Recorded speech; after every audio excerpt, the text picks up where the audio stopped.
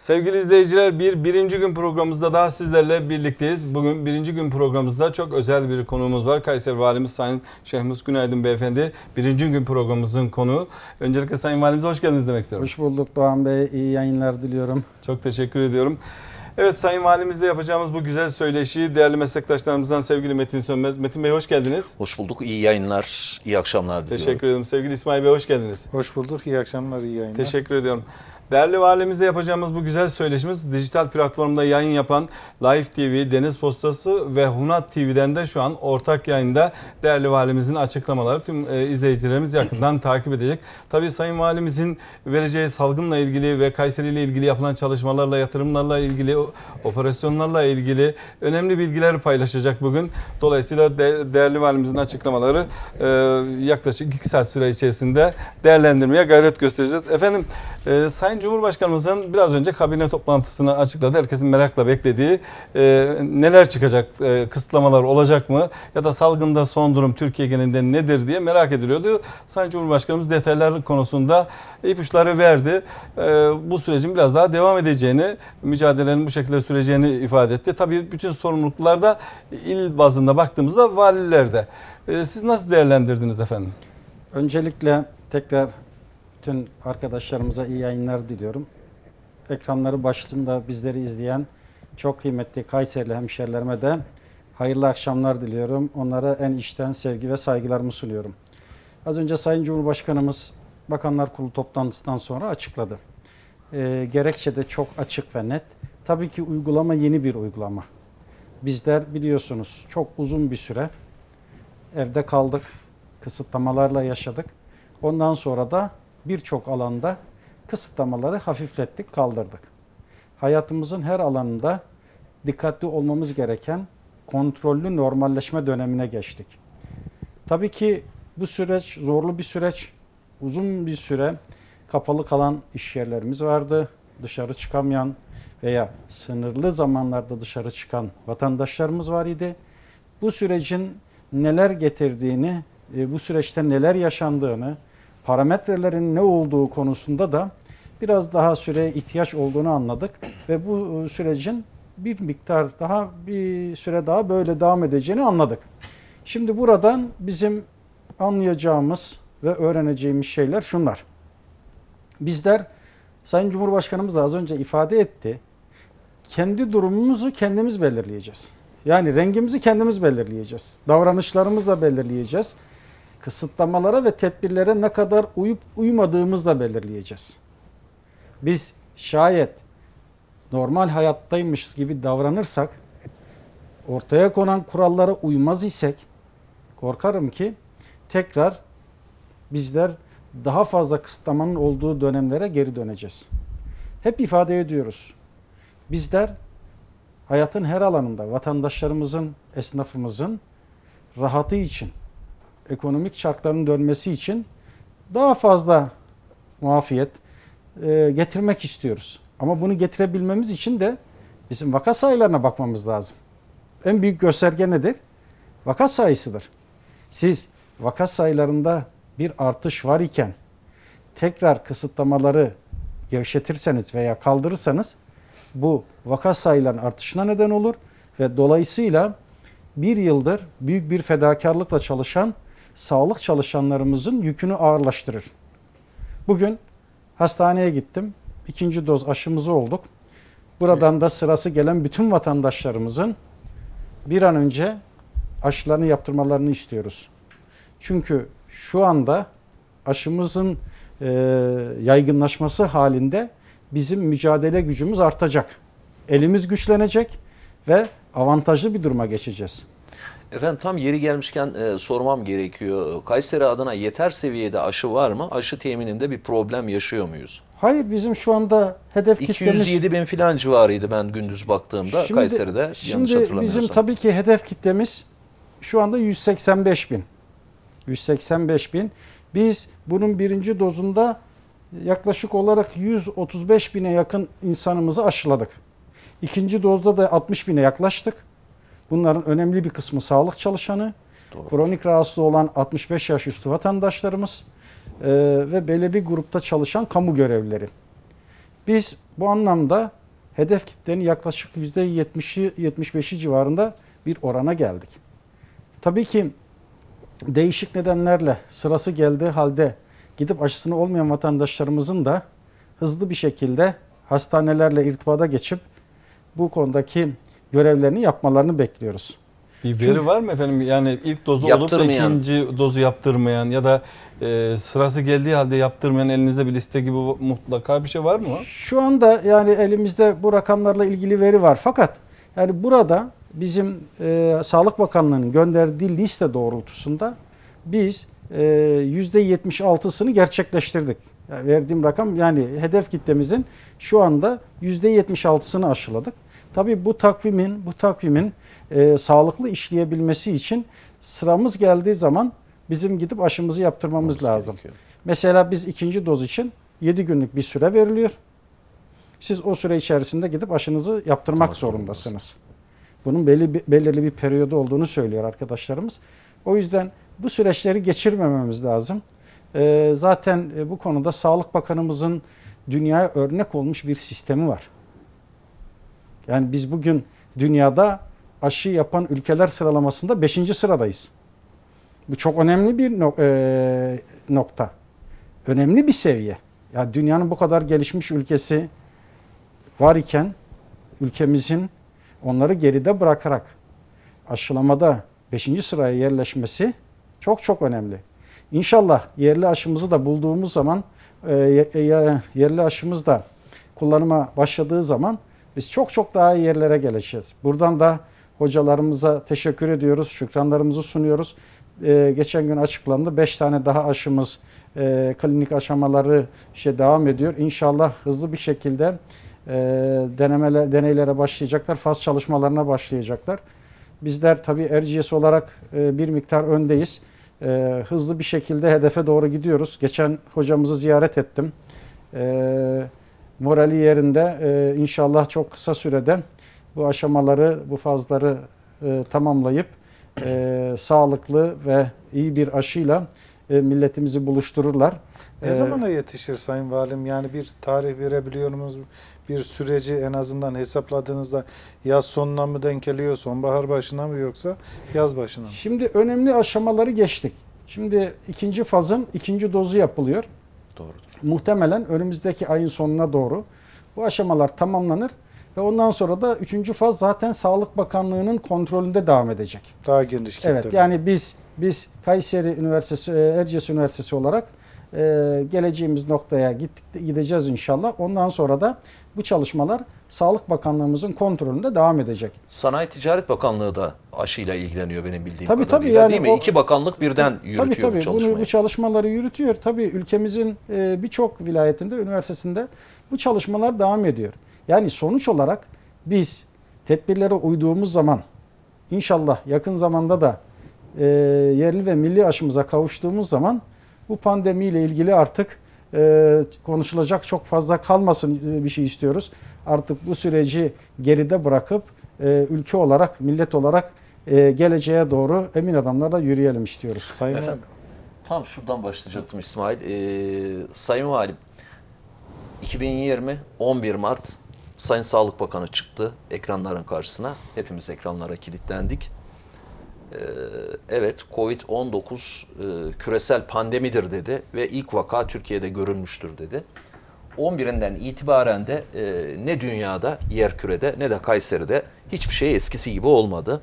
E, yeni normalleşme dediğimiz maske mesafe, hijyen kurallarına riayet ederek yaşamaya başladık, yaşamayı öğrendik. Aşağı yukarı bu bir yıllık süreçte Kayseri'de gözlemlediğiniz, yaşadığınız, tanıklık ettiğiniz ve e, mesela ben şunu merak ediyorum. Eyvah eyvah dediğiniz bir dönem oldu mu? Sıkıntılı süreçler yaşadık mı? Bu bir yılın bilançosunu değerlendirirseniz e, ne dersiniz bu ekranlardan? Evet, daha önce programda da konuşmuştuk Evet. hatırlarsanız. Ee, tabii Sayın Cumhurbaşkanımızın e, ülkemize ve milletimize kazandırdıkları şehir hastanelerinden bir tanesine sahip olmamız Kayseri olarak en büyük avantajımız oldu. Biz pandemi başladığında arkadaşlarımızla oturduk. Sağlık Bakanlığı'ndan gelen arkadaşlarımız vardı. Bizler A, B, C ve D planlarımızı yaptık. Ve hatırlarsanız hep şunu söyledik. Hiç B planına geçme ihtiyacı hissetmedik çok şükür. Bu tabii az önce ifade ettiğim gibi şehir hastanemizin olması, sağlık sektörümüzün Kayseri'de güçlü bir altyapıya sahip olması. Emeği geçen başta Sayın Cumhurbaşkanımız olmak üzere bakanlarımıza, milletvekillerimize, emeği geçen herkese teşekkür ediyoruz. Gerçekten bizim için çok büyük bir güçtü. Biz bu güçlü e, yanımızla bu pandemi sürecinde çok şükür hep A planında kalarak devam ettik. Elbette ki arkadaşlarımız yoruldu. Çok büyük emek verdiler. Aylarca evine gitmeyen e, sağlık çalışanlarımız oldu. Doğrudur. Sağlık çalışanlarımızın annesiyle, anneleriyle diyaloglar kurduk. Onlar da sağ olsun çok büyük bir fedakarlıkla, büyük bir özveriyle çocuk torunlarına baktılar. Bu süreçte biz millet olarak çok büyük bir dayanışma örneği ortaya koyduk. Bizim dünyada, Dünya Sağlık Örgütü tarafından bu pandemiyle mücadelede başarılı olarak e, yorumlanmamızın bir nedeni de güçlü, güçlü sosyal bağlarımız, aile bağlarımız, komşuluk bağlarımız. Bunun da çok etkisi var. Güçlü bir sa- e, sağlık altyapısının yanında bunlara da sahipseniz o zaman bu mücadelede çok başarılı olursunuz. Ve biz e, çok şükür bu bir yıllık süreçte hiç eyvah eyvah demedik. Sadece ve sadece az önce söylediğim gibi sağlık çalışanlarımızın e, aşırı bir şekilde aşırı bir şekilde görevde olmaları, fedakarlık göstermeleri onlara tabii onlara karşı bizim her zaman görevler görevimiz olduğu bilinciyle biz de daha fazla çalıştık. Gece, gündüz, e, günün her saatinde bu mücadelede bizler de nasıl destek verebiliriz de e, ortaya çıktık. Değerli basın mensupları, vatandaşlarımız, Büyükşehir Belediye'miz, belediyelerimiz, kamu görevlerimiz hep birlikte hatırlarsanız çok kritik eşikleri geçtik. Evet. Bugün de ifade ettim. Birçok kritik eşiği geçtik. Şimdi gene benzer bir olayla karşı karşıya gelme ihtimalimiz var. Vaka sayılarımız artıyor. Bizim gene gene bu eşiği de aşabilmemiz için yine aynı kararlı ve aynı hassasiyeti göstermemiz gerekiyor. Aksi takdirde B planına geçersek bu sefer bedeli biraz daha fazla olur. Biz bu bedelleri minimum seviyede tutmak istiyoruz. Çünkü biz daha önce bunu başardık.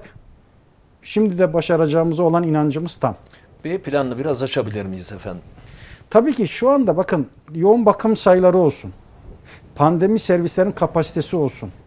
Bunların hepsinin hepsinin B planındaki sayıları, C planımızdaki sayıları ve D planımızdaki sayıları hep belirlenmiş. Nerede yoğun bakım e, ünitelerini artıracağız? Nereyi yoğun bakım ünitesi haline getireceğiz ihtiyaç halinde? Bunların hepsi belli. Bunların hepsi belli şu anda. Ama Bugün çok şükür A planında mıyız efendim bugün A itibariyle? plandayız evet. Evet. Ve hiçbir zaman B planına geçmedik zaten çok şükür. Ve her aşamada bütün sağlık çalışanlarımızla, şehir hastanemizde, üniversite hastanemizde hep e, diyalogta olduk. Hep konuştuk, toplantılar yaptık ve herkes kendi imkanını, gücünü zorlayarak e, mevcut plan içerisinde yürümemizi sağladı. Tabii ki bizler de onların e, yükünü hafifletmek için az önce söyledim. Mesela şimdi sizin A planda kalabilmeniz için güçlü bir filyasyon ordunuzun olması lazım. Filyasyon saatini şimdi siz e, 24 saat, 36 saat, 36 saat olarak belirlerseniz sizin mücadeleniz daha zorlu olur. Biz 7-8 saatlere düşürdük Kayseri'de. Şimdi mesela biraz sonra e, bugün ki vaka sayılarının bütün durumları bana gelecek. Filyasyon çalışması bitecek. Yani bizim arkadaşlarımız 24 saat esasına göre çalışarak e, bu süreci e, kontrolümüzde götürmemiz için her türlü fedakarlığı yapıyor. Sadece arkadaşlarımız değil.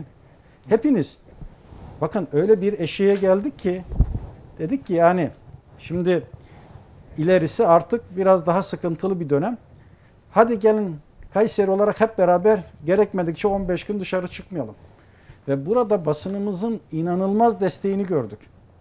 Ve vatandaşlarımız bu çağrıya uyarak ve vatandaşımızın desteğiyle biz 15 gün içerisinde o süreci tersine çevirdik. Hep bunları konuştuk. Doğrudur. Şimdi bizde bu irade var iken, bizde bu azim var iken, bu kararlılık var iken şimdiden söyleyin yani biz o noktaya gelmeden şimdi daha az bir maliyette, daha az bir bedelle o süreçlere yakınlaşmayalım. Kazanmış olduğumuz, elde ettiğimiz kazanımları tekrar geriye döndürmeyelim. Ne yapalım? Şimdi restoranlarımız için, bazı iş yerlerimiz için %50 kapasitesini nasıl %60'a 70'e çıkartırız? Onun için çalışalım.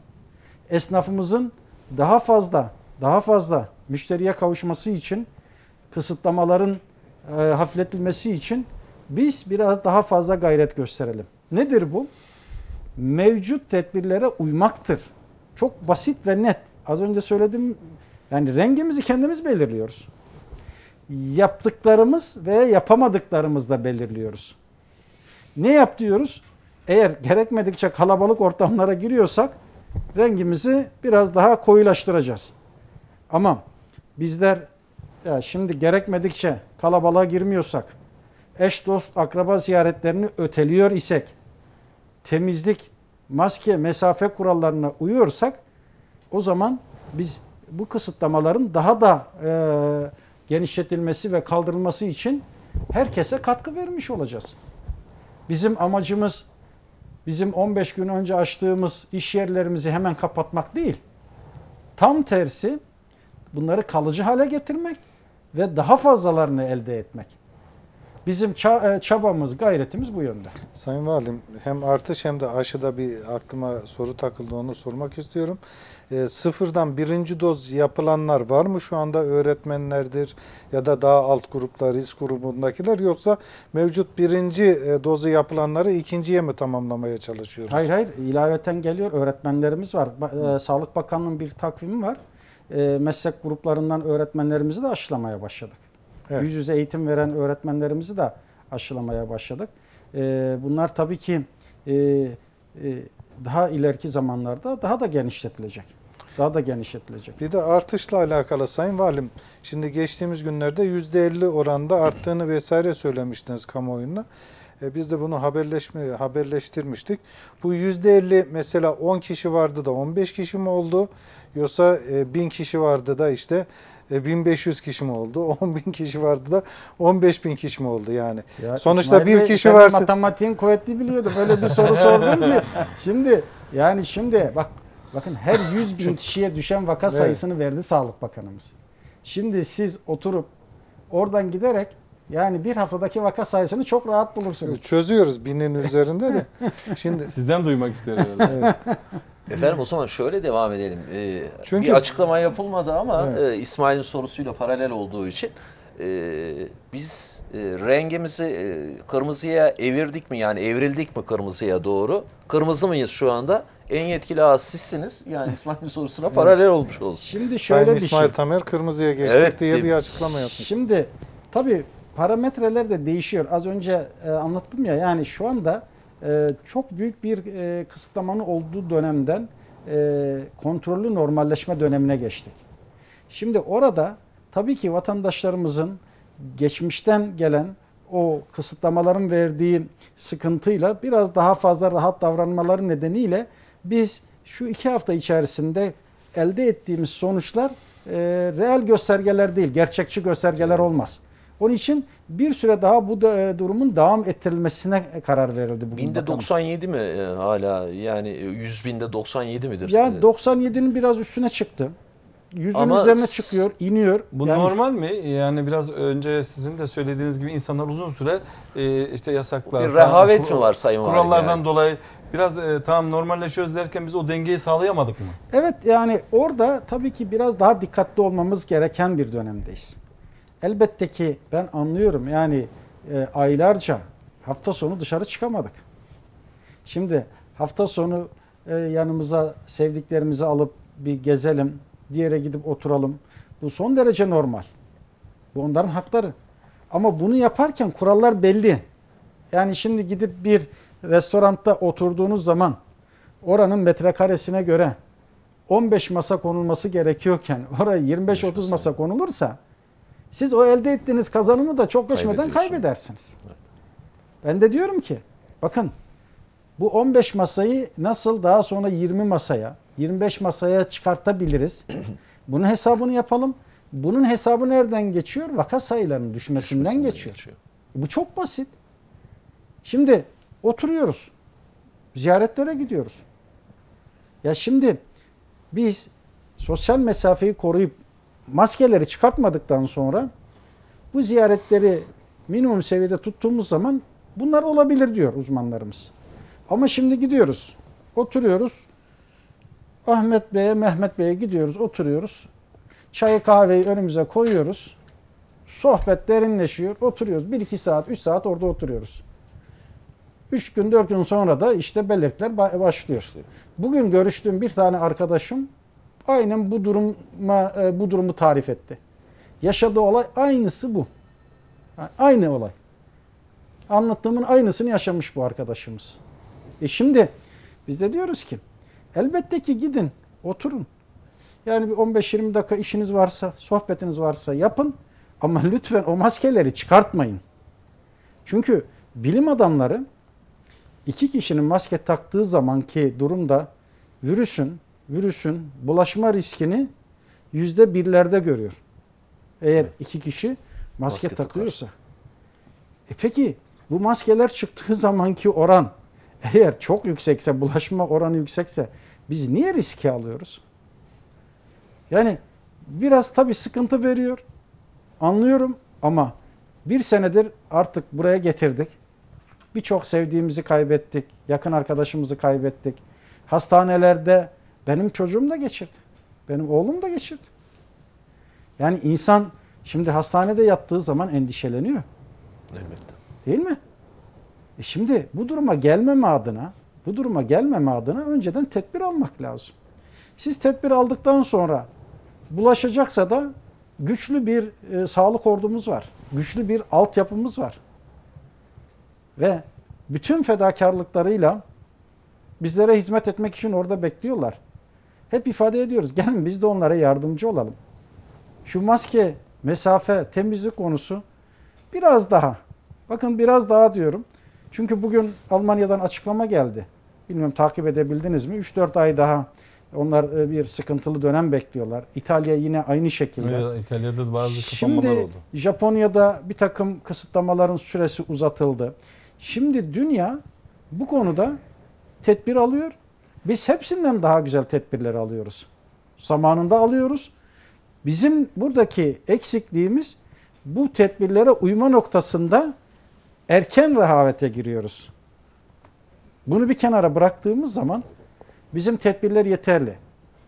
Bakın Metin Bey şimdi yazıyorlar. Şimdi sosyal medyadan diyorlar ki ya Sayın Valim diyor 15 gün kapatın her yeri diyor. Ondan sonra bakın diyor nasıl vakalar Tertemiz azalacak. olur. Evet. E, evet azalacak. Yani herkes biliyor bunu. Peki açtık. Tekrar aynı şekilde devam ettik. Tekrar kapatmak gerekiyor. O mantığa göre yani. Değil mi? Evet. Yani şimdi niye bu duruma e, düşelim? Efendim ben e, şunu sormak istiyorum. E, mutlaka bir mesajınız olacaktır eminim ki. Siz e, bir yılı aşkın zamandır e, hakikaten gecesini gündüzünüze kattınız biliyoruz, tanıklık ettik. Sabahlara kadar e, pandemiyle mücadele ettiniz.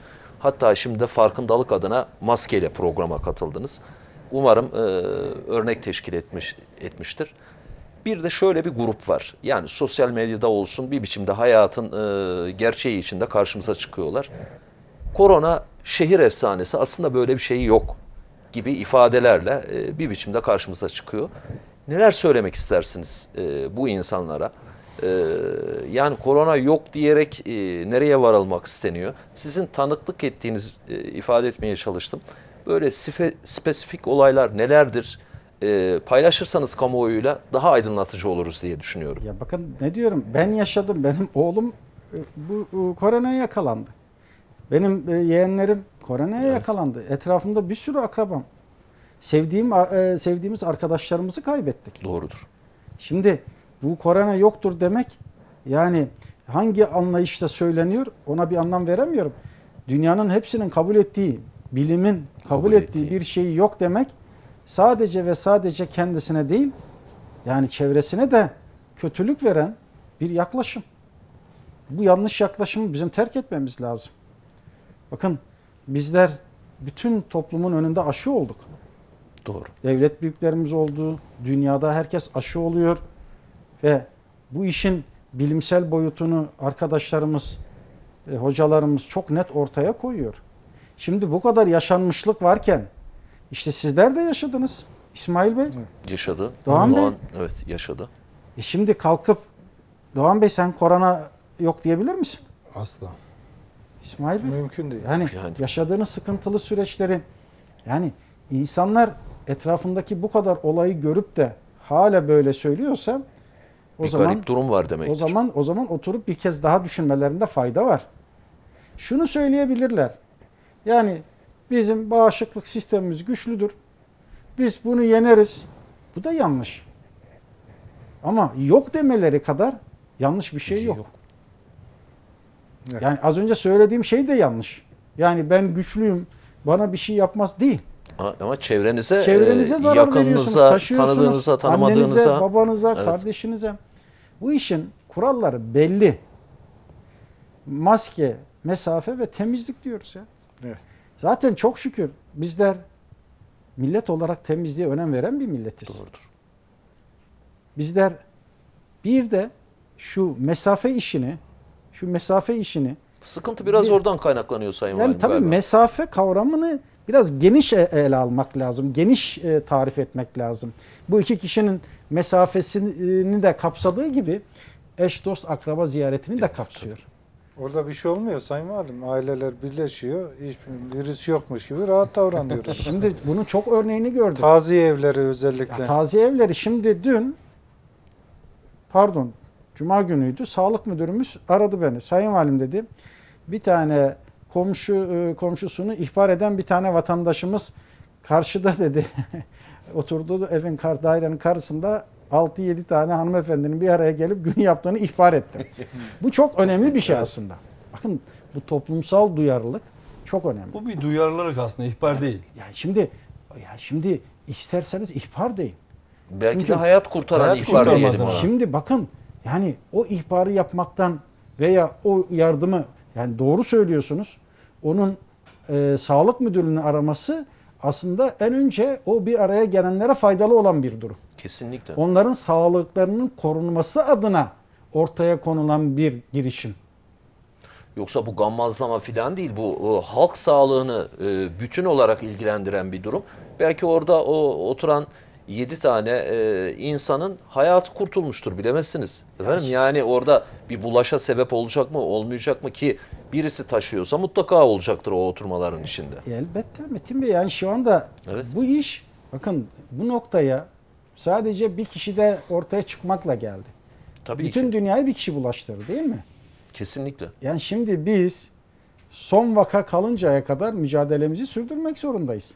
Onun için önleyebildiğimiz kadar vakayı oluşmadan, meydana gelmeden tedbirlerle eğer önlersek biz bu mücadelede erken başarı yakalarız. Ama ne kadar gecikirsek, müdahale etmezsek, sosyal sorumluluğumuzu yerine getirmezsek, vatandaşlık görevimizi yerine getirmez isek korkarım ki çok daha uzun süre bu e, mücadelemiz devam edecek. Ama gördüğünüz kadarıyla sizler de görüyorsunuz, bizler de görüyoruz. Tedbirleri sıklaştırdığımız zaman vakalar hemen azalıyor. Evet. E demek ki demek ki tedbirlerin faydası var. Ve gelin hep beraber şu tedbirlere biraz daha sıkı sıkıya sarılalım. İnşallah Sayın Bakanımız açıklamıştı Mayıs sonu Haziran'ın başına kadar bizim yaklaşık olarak e, 105 milyon doz aşımız gelecek.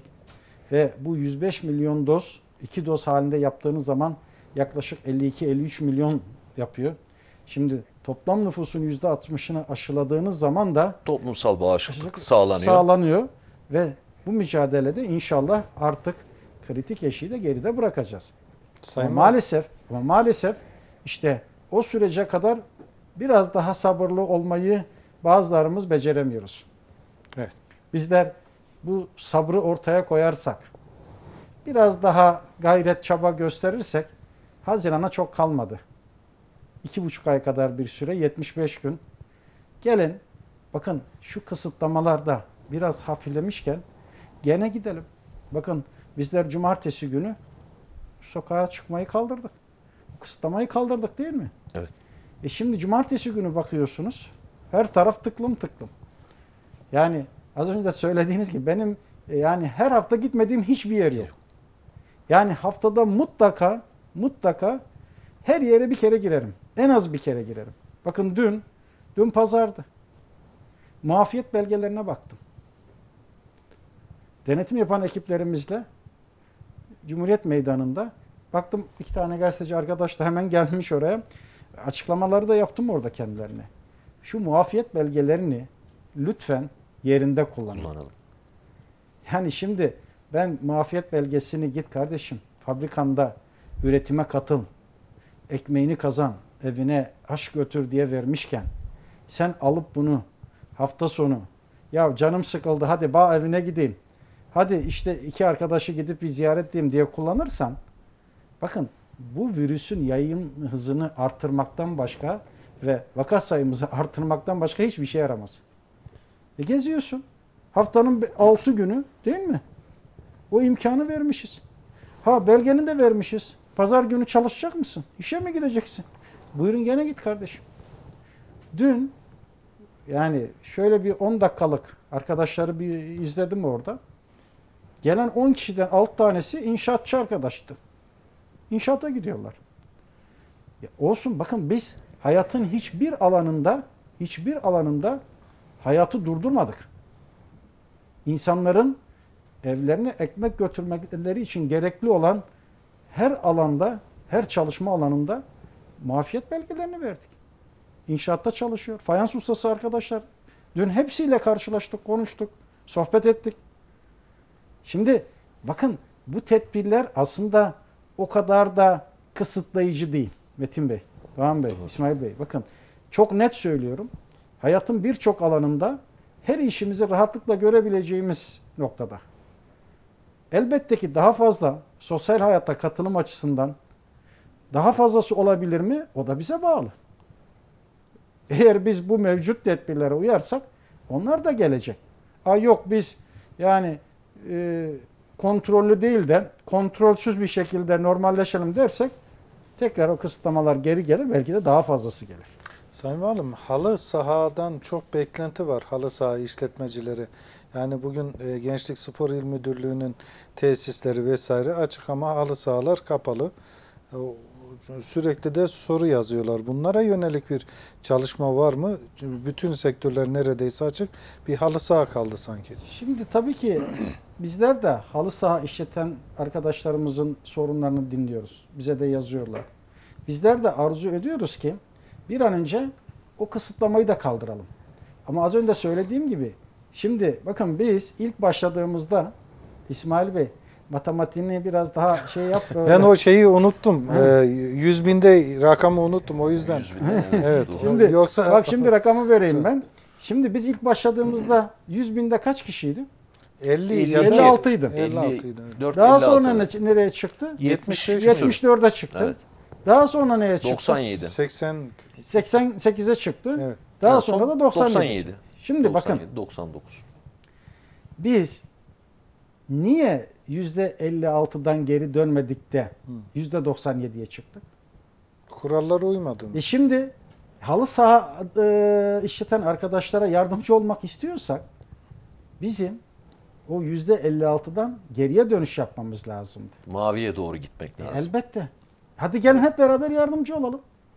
Kısıtlama uygulanan alanlardaki kısıtlamaları kaldırmamızın yolu bu. Kurallar konulmuş. Ve bakın bazı vilayetler bazı vilayetler bunu yaptı. Bizler bizler tabii ki e, bazı vilayetlere göre e, bizim dezavantajlarımız var veya farklı bir durumumuz var. Bizim etrafımızda onun üstünde vilayet var. Her gün 100 bine yakın işçimiz işine gidiyor. 300 binin üstünde öğrencimiz var. Bunların bir kısmı yüz yüze eğitim görüyor, bir kısmı uzaktan eğitim görüyor.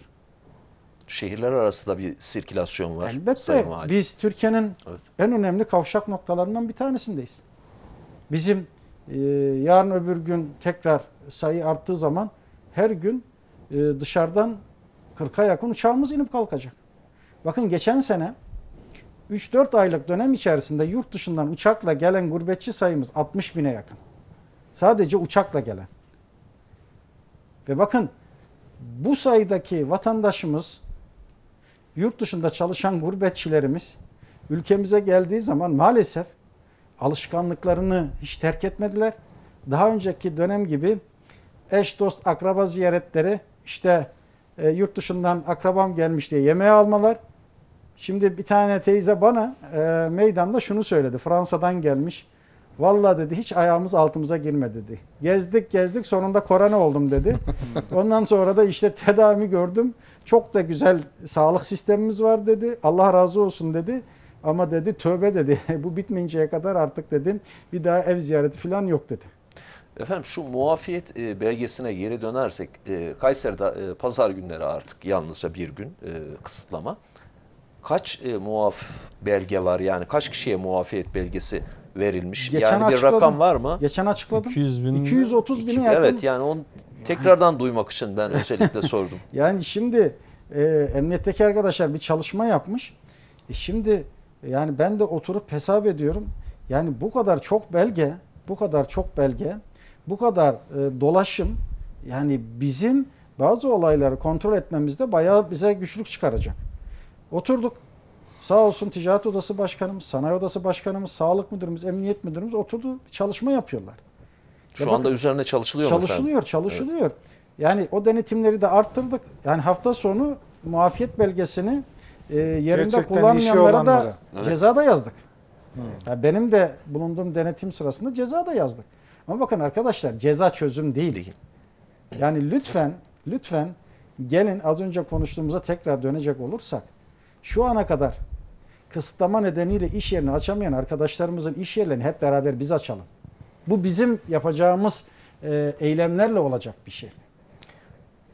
Yani bu e, şehrin e, mülki amiri olarak e, belediyelerle, STK'larla vesairelerle bir slogan üretip e, şu platformu kazasız belasız geçmek adına bir dizi çalışmalarınız var mı Sayın Valim? Yani maviye yolculuk gibi e, bir slogan üretelim mesela. Yani, Yani kapalı olan halı sahalarından bir şeyler el birliğiyle bir şeyler açalım. yapılması gerekmiyor mu? Siz sürekli e, medya önünde de bulunduğunuz ortamlarda da buna benzer konuşmaları yapıyorsunuz haklı olarak ki e, yani 50'lerden e, 97-99'lara bulduk.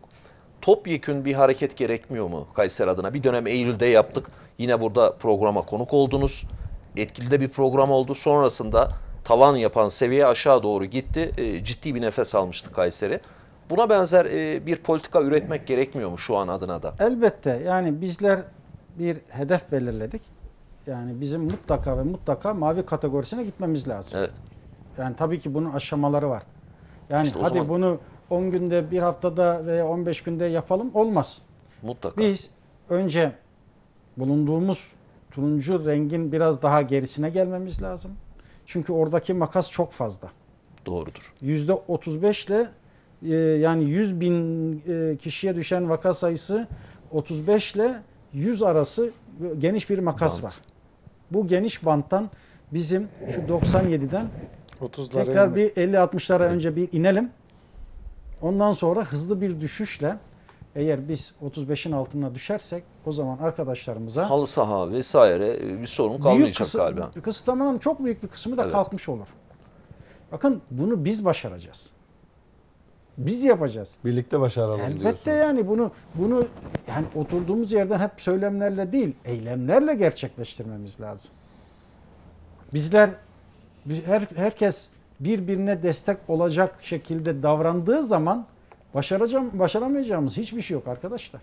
Hiçbir şey yok. Bunu yaptık işte. Kayseri geçmişte yaptı evet. Yaptı. Eylül ayındaki o dönemde. Elbette ya biz Evet. nereden nereye geldiğimizi gördük arkadaşlar. Yani şu anda biz o 100 bin kişide 100 bin kişide vaka sayılarını 30'un altına düşürdük. O zaman düşürdük. E gelin, gelin bunu bir daha yapalım. Hem de Hatta yaptırım %30'unu da- olmadan. Şimdi sizinle konuşurken biraz da kafadan e, kafamdan şeyi hatırlamaya çalışıyorum. 3-4 Oranı ay mı? önceki e, vaka sayılarına bakıyorum. %30'un altına da düştük. Doğrudur. E şimdi bakın yani daha doğrusu 100 bin kişide e, 100 bin kişiye düşen vaka sayısını 30'un altına da düşürdük bazı günler. Yani bazı günler çok şükür bizim entübe hastamız olmadı, yoğun bak, bak- bakımda hastamız olmadı. Yani biz entübe sayılarını e, 9-10'lara düşürmüştük. Evet. 9-10'lara düşürmüştük. Biz bir ara yoğun bakımdaki hasta sayımızı yani onları da 20'li seviyelere düşürmüştük.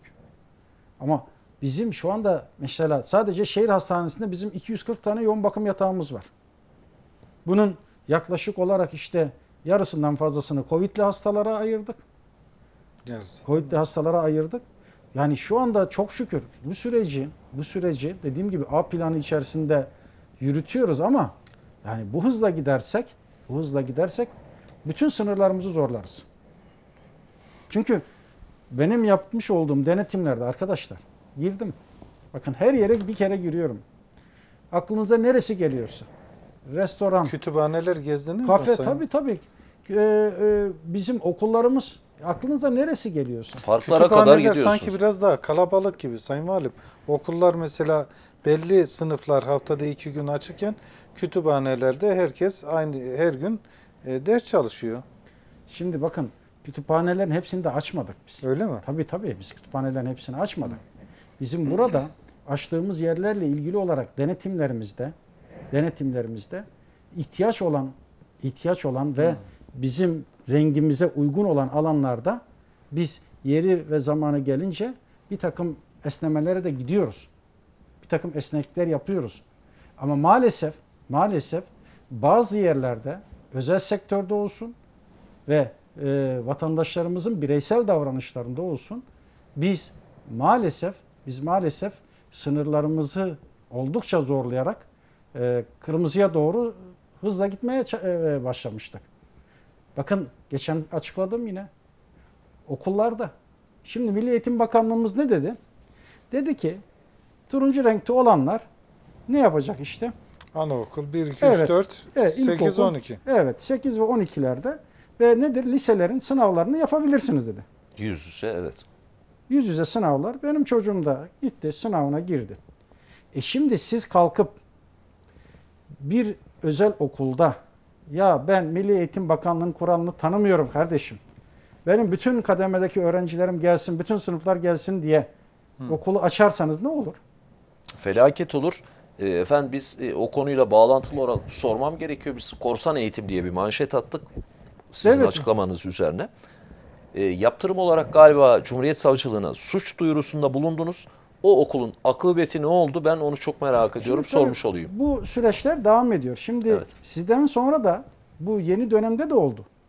Şu 1 Mart'tan sonra da oldu aynısı. Benzer bir durum daha tabii çıktı. tabii aynı durum oldu. Ama bunlara sağlam bir yaptırım uygulamak gerekmiyor mu Sayın Valim? Cumhuriyet Savcılığına e, Verdik, suç duyurusunun suç dışında. duyurusunda bulunduk. Bakın bunlar ya bakın arkadaşlar az önce söyledim. Bizim amacımız kimseye ceza yazmak, kimseyi savcılığa göndermek değil. Değil. Ama onların da amacı şu olmalı. Yani karşımızdaki e, toplumda iş yapan kişilerin de amacı şu olmalı bence. Ben bana çizilen sınırlar içerisinde kalayım ve henüz henüz kısıtlamalar nedeniyle dükkanını açamayan işte halı sahacı ya da ben de yardımcı Çok olayım demeli bence. Ki özellikle eğitim kurumları Yani bunu yapabilmeli. Toplumsal sorumluluk bunu gerektiriyor arkadaşlar. Doğrudur. Tamam ben açtım. Aman ben 3 3 sınıf daha açayım, 5 sınıf daha açayım. Yani ne olursa olsun tablo ağırlaşsın, diğerleri açmasın der isek bu o insanımıza yani kötülüktür. Onun hakkına girmektir. Aylardır açmayan arkadaşlarımız işte bunlar. Niye açamıyoruz? Yani biz istemiyor muyuz açmayı? Ama elinizde bir tablo var, elinizde veriler var. E sizin bu veriler ışığında orayı açmanız mümkün değil. Açtığınız zaman, açtığınız zaman bu sefer diğer açılan yerlerle beraber çok geçmeden tekrar kapatırsınız. Erciyes'le kıyaslıyorlar da Sayın Valim diyorlar ki ya Erciyes 6 gün açık okullar niye açık değil? Erciyes'te çok birliktelik olmadığı için mi Böyle bir yani okulla kıyasladıkları için soruyorum. Okulda kapalı ortam, Evet. orası açık bir ortam. Ya bakın bilim adamları açıklıyor zaten. Bu işin uzmanları açıklıyor. Kapalı alanda, kapalı alanda siz yarım saatten fazla kaldığınız zaman risk başlıyor zaten. Maskeli olsanız dahi Dahi risk başlıyor. başlıyor. Yani şimdi az önce de söyledim ya yani oturuyorsunuz maske takıyorsunuz bulaş riski yüzde bir ama onun da belirli bir saati var süresi var. Oturup saatlerce biz maskeli oturduk konuştuk. O da risk. Riski artırıyor. Şimdi Erciyes, Erciyes olayıyla okul olayı çok farklı. Bakın arkadaşlar bütün ortaya konulan kurallar bilimsel çalışmalar sonucunda işin yetkilisi uzmanı insanlarımız tarafından ortaya konulan ve belirlenen kurallar. Yani ben vali olarak oturup yani 8 metrekareye işte bir masa atalım veya 8 metrekareye bir kişi düşsün demiyorum ben. Vali olarak ben bunu söylemem. Söyleyemem. Çünkü niye? O benim alanım değil. Şimdi burada burada metrekareye göre kaç insan bulunması gerekiyor? Bunun tespitini kim yapacak? Bu işin uzmanı yapacak. E yapmış. Diyor ki bak kardeşim diyor sen diyor okula diyor şu şu şu sınıfları getirirsen senin okulunda sürdürülebilir bir e, durum var. Ama sen bunu ihlal ettiğin zaman o zaman riski maksimum seviyeye çıkartıyorsun. O zaman elinde olan kısıtlamayı da kaybedersin diyor zaten. Şey muafiyeti de kaybedersin Evet. diyor. Kısıtlamayı daha üst seviyeye çıkartırsın. Şimdi okuldaki kapalı ortamla Erciyes'teki kapalı ortamı mukayese edemeyiz. Ha Erciyes söylemişken ben şunu da söyleyeyim. Yani Erciyes'e de yani hafta sonu 50-60 bin insanı gitmesi de doğru değil. Evet, Doğru en önemli değil. sorun o. Ya doğru değil. Kayak yapan da gidiyor, yapmayan da gidiyor. Şimdi bakın kısıtlamaların olduğu günlerde vermiş olduğumuz belgeyle gidip orada kayak yapmaya çalışan insanlar tespit ettik. Birçok meslek grubunda. Birçok meslek grubunda. Ben şu meslek grubundayım. Şimdi adam kalkmış komşu bir vilayetten gelmiş. Efendim ben diyor işte şu meslektenim diyor. Benim sokağa çıkma diyor muafiyetim var. Muafiyetim var. Ya kardeşim, sevgili dostum, sevgili arkadaşım, bu belge niçin sana verildi? Sana şunun için verildi. Dediler ki sen hafta sonu kısıtlamalarında git işini yap. Yap. Avukatsan git avukatlığını yap. Mali müşavirsen git mali müşavirliğini yap. Erciyes'e İnşaatta çalışıyorsan git inşaatta çalış. Bu sana Erciyes'te Kuru kayak yemiş, yapma hakkı kuru yemiş vermiyor. dükkanın varsa işte e, börek fırının varsa git oralarda çalış. Yani sen o belgeyi al 300 kilometre koştura koştura gel Peki. buraya. Gel de ki ya benim belgem var ben kayak yapmaya geldim. De o belgeyi sana kayak yapa, e, yap- yapasın diye vermedik biz. Efendim tam oraya gelmişken e, bir yıllık bilançonun içinde e, kesilen ceza e, ve rakam var mı elinizde Var, acaba? var. Nedir yani kaç kişiye Rakam ne kadar para? sevgili Metin abicim e, özellikle çok sayıda ilçelerden yazan Tabii tabii izleyicilerimiz var. Yani gerçekten tabii bir kez daha hatırlatayım. Live TV, Deniz Postası ve Hunat TV'den dijital platformundan da TV1 ekranlarından yayınlanan bu yayın ortak yayın e, şeklinde yayınlanıyor. Dolayısıyla çok geniş kitlelere hitap eden bir yayın oldu. Sayın Valim ilçelerden çok sayıda izleyicilerimiz yazıyor. E, vakaların az olduğu ilçelerde tüm e, okullar yani az olan ilçelerde o, okullar açılamaz mı yönünde özellikle velilerin bu seslenişini iletmek istiyorum. Evet çok güzel bir tespit yapmışlar. Bakın arkadaşlar biz bunların hepsini konuşuyoruz. Bakın Bu da Sayın sorumluluk sizde sanıyorum değil mi? Yok e, şimdi o konuda Türkiye genelinde bir uygulama e, getirilmesi lazım. Biz bunları konuşuyoruz. Bakın valiler, sayın bakanlarımızın e, başkanlık ettiği toplantılarda bunu söyledik biz. Bunu gündeme getirdik. Bunu tartışıyoruz. Geçen haftaki bir toplantıda bunu konuştuk. Yani bu ileriki günlerde bu da belki olabilir. Ama şimdi biz bir ili genel olarak ele alırsak bu aşamada daha faydalı olur. Şimdi ben ilçelerimize teşekkür ediyorum. İki tane ilçe ismi so- söyleyeyim. Bakın. Akkışla Felahiye ilçelerimize teşekkür ediyoruz. Vaka sayısı Yani vaka sayısı yok bazı Yok. yerlerde. yani Evet. örnek teşkil ediyor. Söyleyeyim Evet. yani bakın bunlara teşekkür ediyoruz. Ama bazı ilçelerde bir hafta içerisinde yüzde 256 artış var.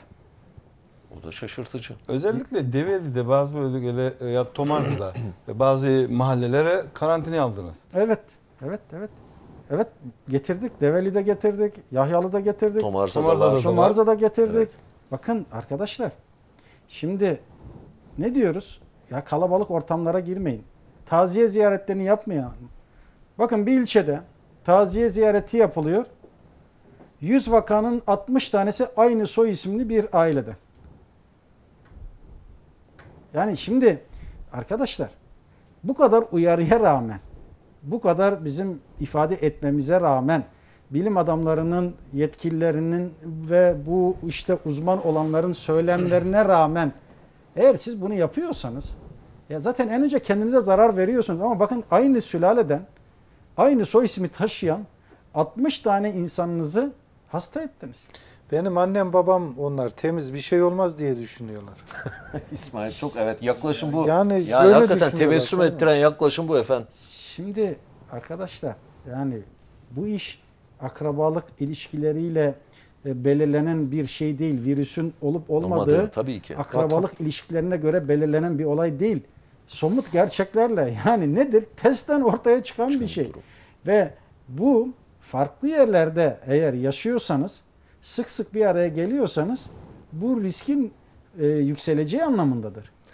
Efendim tam burada e, şunu sormak durumundayım ben. E, aşağı yukarı bir saate yakın zamandır işte maske, mesafe, temizlik ve e, kalabalık ortamlardan uzak duralım diye hep birlikte konuşuyoruz. Siz de altını çize çize ısrarla vurguluyorsunuz. Bu il Hıfzı Sıha Kurulu'nun içinde sosyolog, psikolog, toplum bilimci var mı? Ee, galiba bazı noktalarda topluma, tüm Türkiye geneli için söylüyorum, Kayseri için söylemiyorum. Bu virüsün ne menen bir şey olduğunu iyi anlatamadık Türkiye Cumhuriyeti olarak. Böyle bir uygulamaya gitmeyi düşünüyor musunuz? Yani biraz daha anlaşılabilir bir dille bunu e, sosyologlar, psikologlar daha iyi açıklayabilir diye düşünüyorum ben. Böyle bir çalışma düşünüyor musunuz? Var mı Kayseri bazında? Türkiye genelinde var.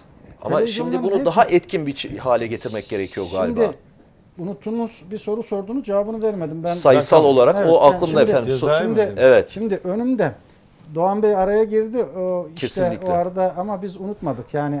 Ben de sorma çok de- biraz önce de ifade ettim çok ciddi anlamda Sorular var. da var. Çok ciddi anlamda takip ediliyor. Dolayısıyla Kayseri'nin en yetkili ismi olarak e, ne gibi tedbirler, yasaklardan da bahseden sorular da var efendim. evet şimdi onları konuşacağız. Bakın Metin Bey biz hemen hemen her hafta en az bir kere en az bir kere bakın bazı toplantılarda belediye bütün ilçe belediye başkanlarımız, Başkanları. bütün kaymakamlarımız, tabipler odası, efendime söyleyeyim sanayi odası, ticaret odası, e, Büyükşehir Belediye Başkanımız, e, daire müdürlerimiz, halk il sağlığı müftümüz, uzmanları. halk sağlığı uzmanları, dekanımız, rektörlerimiz, e, daire müdürlerimiz, bakın il müftümüz, aile ve sosyal politikalar il müdürümüz, milli eğitim müdürümüz, sağlık müdürümüz. Yani aklınıza kim geliyorsa çok geniş katılımlı. e, Elbette ve herkese söz hakkı veriyoruz. Diyoruz ki bu mücadelede söyleyecek sözü olan varsa söylesin. Önerisi olan varsa söylesin. Bakın şimdi bu, bu ekranlardan bütün vatandaşlarımıza da sesleniyorum. Şimdi telefonum burada. Sosyal medyam orada. Bakın bize yazdığınız her şeyi takip ediyoruz. Dün bir vatandaşımız 36 saattir e, kendisine ilaç getirilmediğini yazmış. Arkadaşlar hemen temasa geçti, ilaçlarını götürdüler. Tabii ki bizim arkadaşlarımızın da bu konuda yorgunluğu olabilir. Ama e, bu olayda bu olayda arkadaşımızın adres değişikliği yapması gitmiş, ablasının evine gitmiş. E, ondan sonra tekrar evine dönmüş. Orada işte septomlar başlamış. Arkadaşlarımız kendilerine ulaşmaya çalışmışlar. Ulaşamamışlar. Sonra neyse sorun çözüldü. Bakın vatandaşın bize bize ulaşamama gibi bir derdi yok diye düşünüyorum. Sanırım bunu hep hepiniz yakından görüyorsunuz. Yani Kayseri'de bir vatandaşımız ilim valisine ulaşmak istiyorsa, derdini anlatmak istiyorsa mutlaka anlatır. Mutlaka anlatır. Doğan Bey'i bulur, Metin Bey'i bulur, İsmail Bey'i bulur, Ahmet Bey'i, Mehmet Bey'i bulur ama bulur. Yani benim sosyal medyam yok. Ulaşamadım. Telefonum var.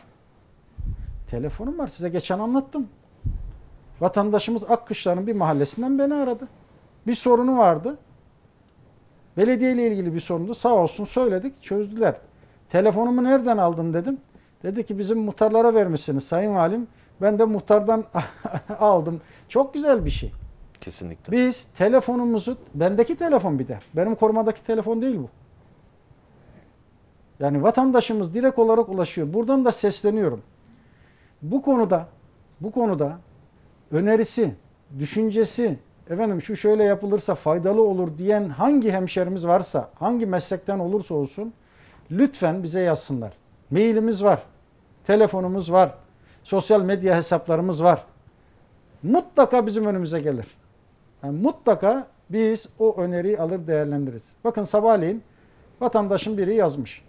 Diyor ki şu şu hattaki otobüs, şu nolu otobüs, halk otobüsüne diyor. Oturduk arkadaşlarla kaç bir kişi bindiğini tek tek saydık diyor. Sayı da veriyor. Sayın Valim diyor dikkatinize diyor. Gereğini yapın diyor. Biz de tamam dedik. Bilinçli birey efendim. Evet. Teşekkür ediyoruz Evet. kendisine. Aynı du- duyarlı herkesten bekliyoruz. Her alanda bekliyoruz. Gittiniz bir yerde oturdunuz. Bakın oraya kapıda. Aynı anda kaç kişi olabilir diye tabelası var mı yok mu? Bakın buradan da arkadaşlarımıza sesleniyorum. Bakın o tabelayı lütfen asın iş yeri sahiplerimiz. Kuru yemişçi, pastane sahibi, restoran, kafe, e, kuyumcu. Ya geçen gün bir tane e, e, kuyumcu arkadaşın dükkanından geçti. Kazancılara girdik emniyet müdürümüzle. Bir baktım bir kuyumcuda 12 kişi var. E, olmaz dedik. Ya, olmaz. Küçük bir yerde 12 kişi. Evet dedi efendim haklısınız dedi ya dalmışız dediler. Yani biz vatandaşımızı bilgilendirmek, farkındalığı artırmak için her dakikada sahada olamayız. Ama her dakikada olmasak da haftada bir kere mutlaka gözükeceğiz. Kendimiz gözükeceğiz, görevlerimiz gözükecek, sizler gözükeceksiniz. Sizler bu ekranlardan konuşacaksınız. İşte az önce söylediğiniz olayda farkındalığı artırmak için söyleyeceğiz, yorulmayacağız. Biliyorum, çok tekrar yapıyoruz. Bunu bilinçli yapıyorum. Doğru. Tekrar iyidir diyor. 180 kere de olsa iyidir diyor tekrar. Şöyle efendim. Et tekrarı ahsen ve levkane 180. Evet, işte Tekrar ya. iyidir. 180 kere olsa İşte bile. ya, işte tekrar yapacağız. Çünkü biz yorulmayacağız. Sahada bulunmaktan, sahaya çıkmaktan yorulmayacağız. Bu mücadele, bu mücadele yorulmakla kazanılacak bir mücadele değildir. Hassasiyetimizi, kararlılığımızı, irademizi en üst seviyede ortaya koymakla kazanacağımız bir mücadele. Evet. Şimdi rakamları da söyleyeyim. Bakın bu da Bir yıllık Bir değil yıl- mi efendim? Temmuz ayından beri. Ha, Temmuz, Temmuz ayı. ayından beri Evet. yapılan denetimler 305 bin iş yerini denetlemişiz. 305 bin iş yeri. 3500 iş yerini denetlemişiz. 3500. 3500 iş yeri. Pardon. 305 bin. 305 bin. Evet orayı tam netleştirelim efendim. 305 bin İş yeri denetlenmiş. iş yerini denetlemişiz. 3500 3600 civarındaki iş yerine idari para cezası uygulamışız. Kişi bazında da yaklaşık 45 bin tane vatandaşımıza istemeyerek de olsa ceza yazmış. Ceza yazılmış. 45 bin mi efendim? 45 bin civarında. Önemli rakamlar bunların hepsi Sayın Evet. Valim. Evet. Evet. 305 bin iş yeri. Ve bakın 199 tane vatandaşımız hakkında da savcılığa suç duyurusunda bulunmuşuz maalesef. Ne yazık ki. Hani bazen arkadaşlarımız diyor ki yazıyorlar ya Sayın Valim denetimler zayıf zayıf. Denetimler hiç zayıf değil. Total uygulanan rakam nedir Sayın Valim? Cezai yani e, Türk lirası karşılığı. Şimdi Türk lirası civa- e, olarak 45 bin Kişisel çarpı olarak- kaç? kişisel olarak yazdığımız ceza 40 milyona yakın. 40 milyona yakın. 45 bin kişiye yazdığımız ceza. 40 milyona yakın. 305 bin iş yeri denetiminden 3500-3600 iş yerine yazdığımız ceza miktarı da 4 milyona yakın. O zaman toplamda totalde 45 milyon filan bir e, para cezası uygulanmış. Tabii tabii tabii. Bakın Evet. onun dışında hatırlarsanız izolasyonu ve karantinayı ihlal edenleri de alıp yurtlara yerleştiriyorduk ya. Doğru. Yaklaşık 1300 kişiyi de Bazılarını toplu taşıma araçlarına binerken HES kodundan yakaladık. Geçen gün Memduh Başkanımız açıkladı o sayıyı da işte 100 140-150 civarıydı yanlış hatırlamıyorsam. 200'e yakın. Evet. Bakın her şeyi takip ediyoruz.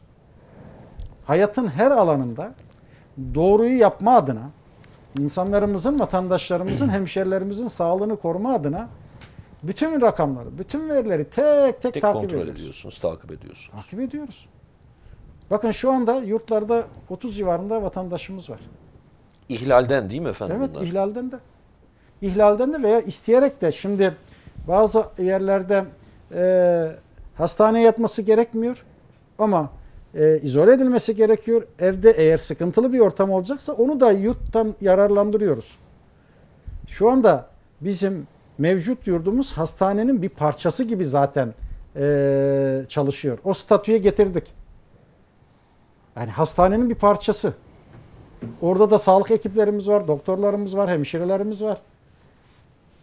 Ne diyorum arkadaşlar bakın biz aklımıza gelecek her konuda hayatı kolaylaştıracak, burada insanlarımızı rahatlatacak e, faaliyetleri yapıyoruz.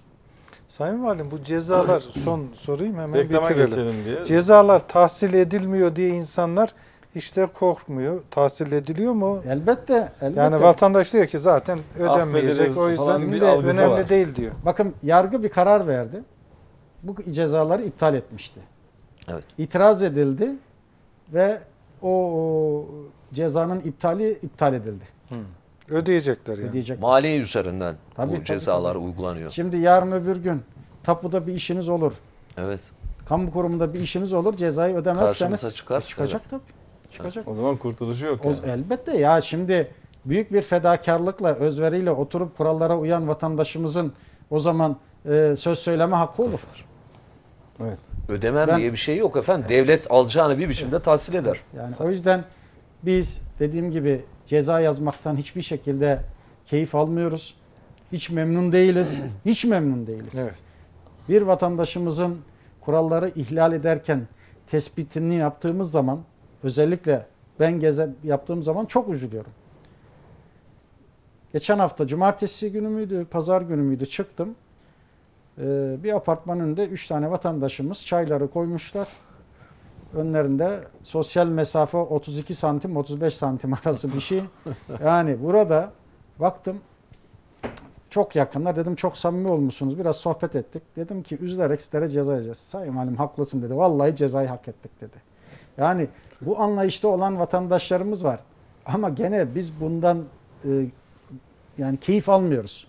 Memnuniyet de duymuyoruz. Bizim memnuniyet duyacağımız, keyif alacağımız şey vatandaşın maskesini takması, kurallara uyması, temizlik, mesafe şartlarına uyması. Bizim bizim bizi memnun edecek yegane şey budur. Efendim biz de şartlara, kurallara uyalım bir reklamlara gidelim. Tabii. Değil mi? Siz de böylelikle dinlenmiş olursunuz. Sevgili izleyiciler birinci gün programımız devam edecek. Kısa bir aradan sonra tekrar sizlerle birlikteyiz. Gözünüz bizde olsun efendim. Evet kısa bir aradan sonra tekrar birinci gün programımızda sevgili izleyiciler sizlerle birlikteyiz. Kayseri Valisi Sayın Şehmuz Günaydın Beyefendi çok önemli açıklamalarda bulunuyor.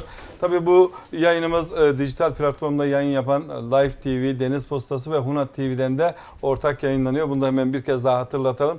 Ee, ilk bölümde efendim çok önemli konulara girdiniz, detaylı bilgiler verdiniz ama çok sayıda ciddi anlamda sosyal medyadan da e, şahsınıza e, vatandaşımızın merakla beklediği sorular var. Tabii hep öncelik olan e, salgın ve pandemiyle ilgili.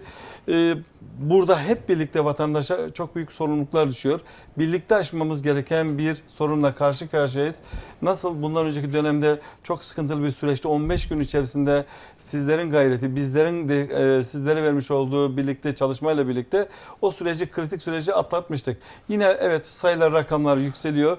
E, bu sayı ve rakamları düşürmek de bizlerin e, ellerinde diye düşünüyoruz. Ama görüyoruz ki e, son dönemde işte e, biraz rahatlayınca AVM'lerin önünde bir stadyum kuyruğu gibi inanılmaz kuyruklar oluşuyor. Bunu sosyal medyadan, mecralardan da sizleri de etiketleyerek vatandaşlar paylaşıyor ki bana göre de çok doğru ve sorumluluk bilinci içerisinde yapılan uyarıcı paylaşımlar. Biz ne oluyor ki birdenbire böyle AVM'leri akın etmeye başladık? Ee, AVM'lerdeki içerideki bulunma sayı, rakam belli mi? AVM'ler bunlara dikkat ediyor mu? Siz bunların denetimini nasıl yapıyorsunuz? Evet, şimdi tabii ki e, sosyal medyada vatandaşlarımızın en çok dile getirdiği hususlardan bir tanesi de alışveriş merkezlerinin önündeki kuyruklar. Evet. Hafta içi e, değerli emniyet müdürümüzü de aldık yanımıza. Arkadaşlarımızla beraber gittik. E, tabii kapının önünde kuyruklar da vardı. Doğru. E, bu şundan kaynaklanıyor. Biz AVM'lere e, açış izni verirken orada aynı anda içeride bulunacak Kişi sayısı. kişi sayısını da verdik. Onu geçtiği anda, onu geçtiği za- anda ceza işlem uyguluyoruz. Ee, zaten İçeride ekip oradaki var mı? Efendim? İçeride ekip var mı o devamlı? Tabii tabii bizim ekiplerimiz var. Bir de e, girişteki kapılarda Sayaç mı? kaç kişi tabii sayaçlar var. Kaç kişinin içeride olduğunu gösteriyor zaten. Giriş çıkışların hepsinin. Ee, normalde 7000 civarında aynı anda e, vatandaşımız bulunabiliyordu. Fakat biz ilçe sağ kurulu kararıyla e, en büyük AVM'deki rakamı 3500'e düşürdük. Yarı yarıya düşürdünüz. Tabii. O sıkıntılı dönemde düşürmüştük. Hala devam ediyor. Devam ediyor. Geçen gittiğimizde kendilerine gene söyledik. Bakın kritik bir dönemdeyiz. Burada aynı anda insanların e, fazla olması yarın öbür gün buraları tekrar kapattırır. Yani tekrar kapanmayla karşı karşıya kalmak istemiyorsak az da olsa az da olsa sayı az da olsa en azından istikrarlı bir şekilde açılış devam etsin. Yani bu açış e, e, açışların yarın öbür gün kapanmaya, kapanmaya dönmemesi için şimdiden tedbiri siz alacaksınız. Varsın sayı düşük olsun. Kapıda kuyruk olması içeride alınan tedbirler nedeniyle kuyruk oluşuyor. Herkesi herkesi aynı anda içeriye aldığınız zaman o belirlediğimiz sayının üstünde insan olduğu zaman AVM yönetimi ceza ile karşı karşıya kalıyor. AVM'lerde şu e, denetimlerde oluyor mu Sayın Valim? İşte o e, havalandırma filtrelerinin kontrolü vesaire bunlar büyük e, ehemmiyet arz ediyor malum olduğu üzere. Yani e, kontrolünü sağlıyor musunuz Elbette buralarda? elbette bizim sağlık müdürlüğümüzün oluşturduğu ekiplerimiz var. Sadece AVM'leri değil bu kapalı çarşılar var. Ee, bunları da arkadaşlarımız sürekli denetliyor. Ee, ve e, dediğim gibi vatandaşımızın bu konudaki hassasiyeti, duyarlılığı bizim işimizi de hafifletiyor işin açıkçası. Şimdi tabii ki AVM'lerden bahsettik. Bakın bu kritik süreçte o zaman birkaç kere de açıklamıştım. Gene açıklayayım. Biz Sayın Büyükşehir Belediye Başkanımızdan, Memduh Başkanımızdan rica ettik. Dedik ki Sayın Başkanım gel Türkiye'ye örnek olalım. Biz toplu taşım araçlarında ayakta yolcu almayalım. Almayalım. Ve sağ olsun Büyükşehir Belediye'miz, Büyükşehir Belediye Başkanımız çok büyük bir özveri ve fedakarlıkla, bakın çok büyük bir özveri ve fedakarlıkla bu söylemimize, bu çağrımıza kulak verdi. Ve bakın biz bunu yanlış hatırlamıyorsam 15 gün için konuşmuştuk. O sağ olsun uzattı. Doğrudur. Ve bakın bu işin uzmanı doktorlarımızın, hocalarımızın bana söylediği şey. Sayın Valim birçok şey yaptık. Gezdik, sahayı bastık. İçlerinden en önemlilerinden bir tanesi de toplu taşımda ayakta yolcu alınmaması idi. Yani o süreçte trendi tersine çevirmemizin en önemli nedenlerinden bir tanesi de Memduh Başkanımızın ve Büyükşehir Belediye Başkanımızın yaptığı bu fedakarlık. Fedakarlık. Kendisine bir kez daha teşekkür ediyoruz. Kendisine bir kez daha teşekkür ediyoruz. Gerektiği zaman inanıyorum ki Sayın Büyükşehir Belediye Başkanımız gene aynı hassasiyeti gösterecek. İhtiyaç olursa tekrar ben varım demişti bize. Yarın öbür gün eğer kritik noktalara gelirsek tekrar e, Memduh Başkanımızın bu sözü bizde zaten inşallah o noktaya gelmeden alacağımız diğer tedbirlerle biz geriye dönüşü sağlayalım. Az önce ifade ettiğim gibi turuncunun üst sınırından alt sınırına doğru bir yolculuk başlatalım. Renkleri hızlı bir şekilde geri geri giderek maviye doğru gidelim. Bugünkü vaka sayısı mutlaka önünüzde vardır. Yani e, olumlu manada bir geriye gitme adına bir ilk adımdan bahsetmek mümkün mü? Filyasyon ekiplerinin sonuçları gelmiş midir diyor Metin Bey. Şimdi maalesef şu anda böyle bir söylemde bulunmam ve böyle bir e, ifade kullanmam pek mümkün gözükmüyor. Çünkü geçen gün bir yazı yazmıştınız siz. Vali Bey sahada ise bazı şeyler iyi gitmiyor diye. Değil ben mi? yazmıştım evet, Evet. efendim. Evet. Demek ki- Kesinlikle du- ben de demek doğru ki- bir tespit demek ki- olduğunu düşünüyorum. Demek ki bir de iyi bir okuyucuyum değil mi? Evet, Kesinlikle yani iyi takip ettiğiniz. Şaşırttınız hayır, beni. Hayır okuyorum bile. Evet. Okurum. Yani Evet. Kayserimizle ilgili her şeyi okurum. Tespit doğru değil mi efendim? Şimdi geçen gün bir gazeteci arkadaş aradı benim. Gece saat 12 geçmişti, yarım gibiydi. Ben de bir kitap okuyordum. Bir kitap okuyordum. Telefonu da duymamışım. Sessizde almıştım. Yani gece 12'den sonra kimse ararsa Arama. şöyle ara ara Evet. bakayım diye. Bir kitabı şöyle bir okuyayım. İyi bir kitaptı. Orada şimdi baktım sonra baktım gazeteci arkadaş aramış. Dedim ki sen bu kitabı da oku dedim bak. Bu herkese herkese lazım olan ve herkesin okuması gereken bir kitap. Yayından sonra size de söyleyeyim onu okuyun mutlaka okuyun. Yani hayatta birçok şeyi değiştireceksiniz. Birçok şeyi değiştireceksiniz. Bakış açınız değişecek. Hayatınızda birçok şeyi de değiştireceksiniz. Yani biz biz vatandaşımızın bütün dertlerini, bütün dertlerini, söylemlerini dinlediğimiz gibi söyleyecek sözü olan gazeteci arkadaşlarımız da dinliyoruz. Dinliyoruz diyorsunuz. Eksik olmayın Okuyoruz da. efendim. Evet. Orada tespitiniz çok doğru. Evet. Bir şeyler iyi gitmiyordu. Bakın benim sahaya çıkış tarihime bir bakın şöyle. Aslında daha bu kısıtlamalar hafiflemeden ve vaka sayıları artmadan önce çıktık sahaya.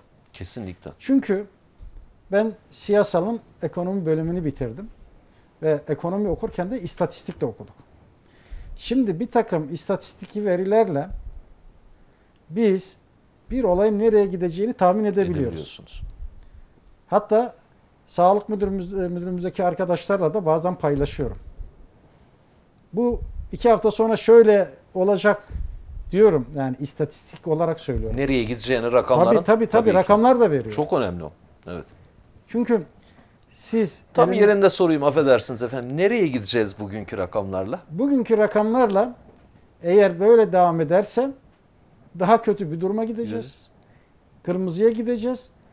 Ama şimdi bizim 10 gün önce almaya başladığımız tedbirlerin sonucunu bu hafta içerisinde göreceğiz. Evet. Ben ben bazı parametrelerde düzelme olabileceğini düşünüyorum.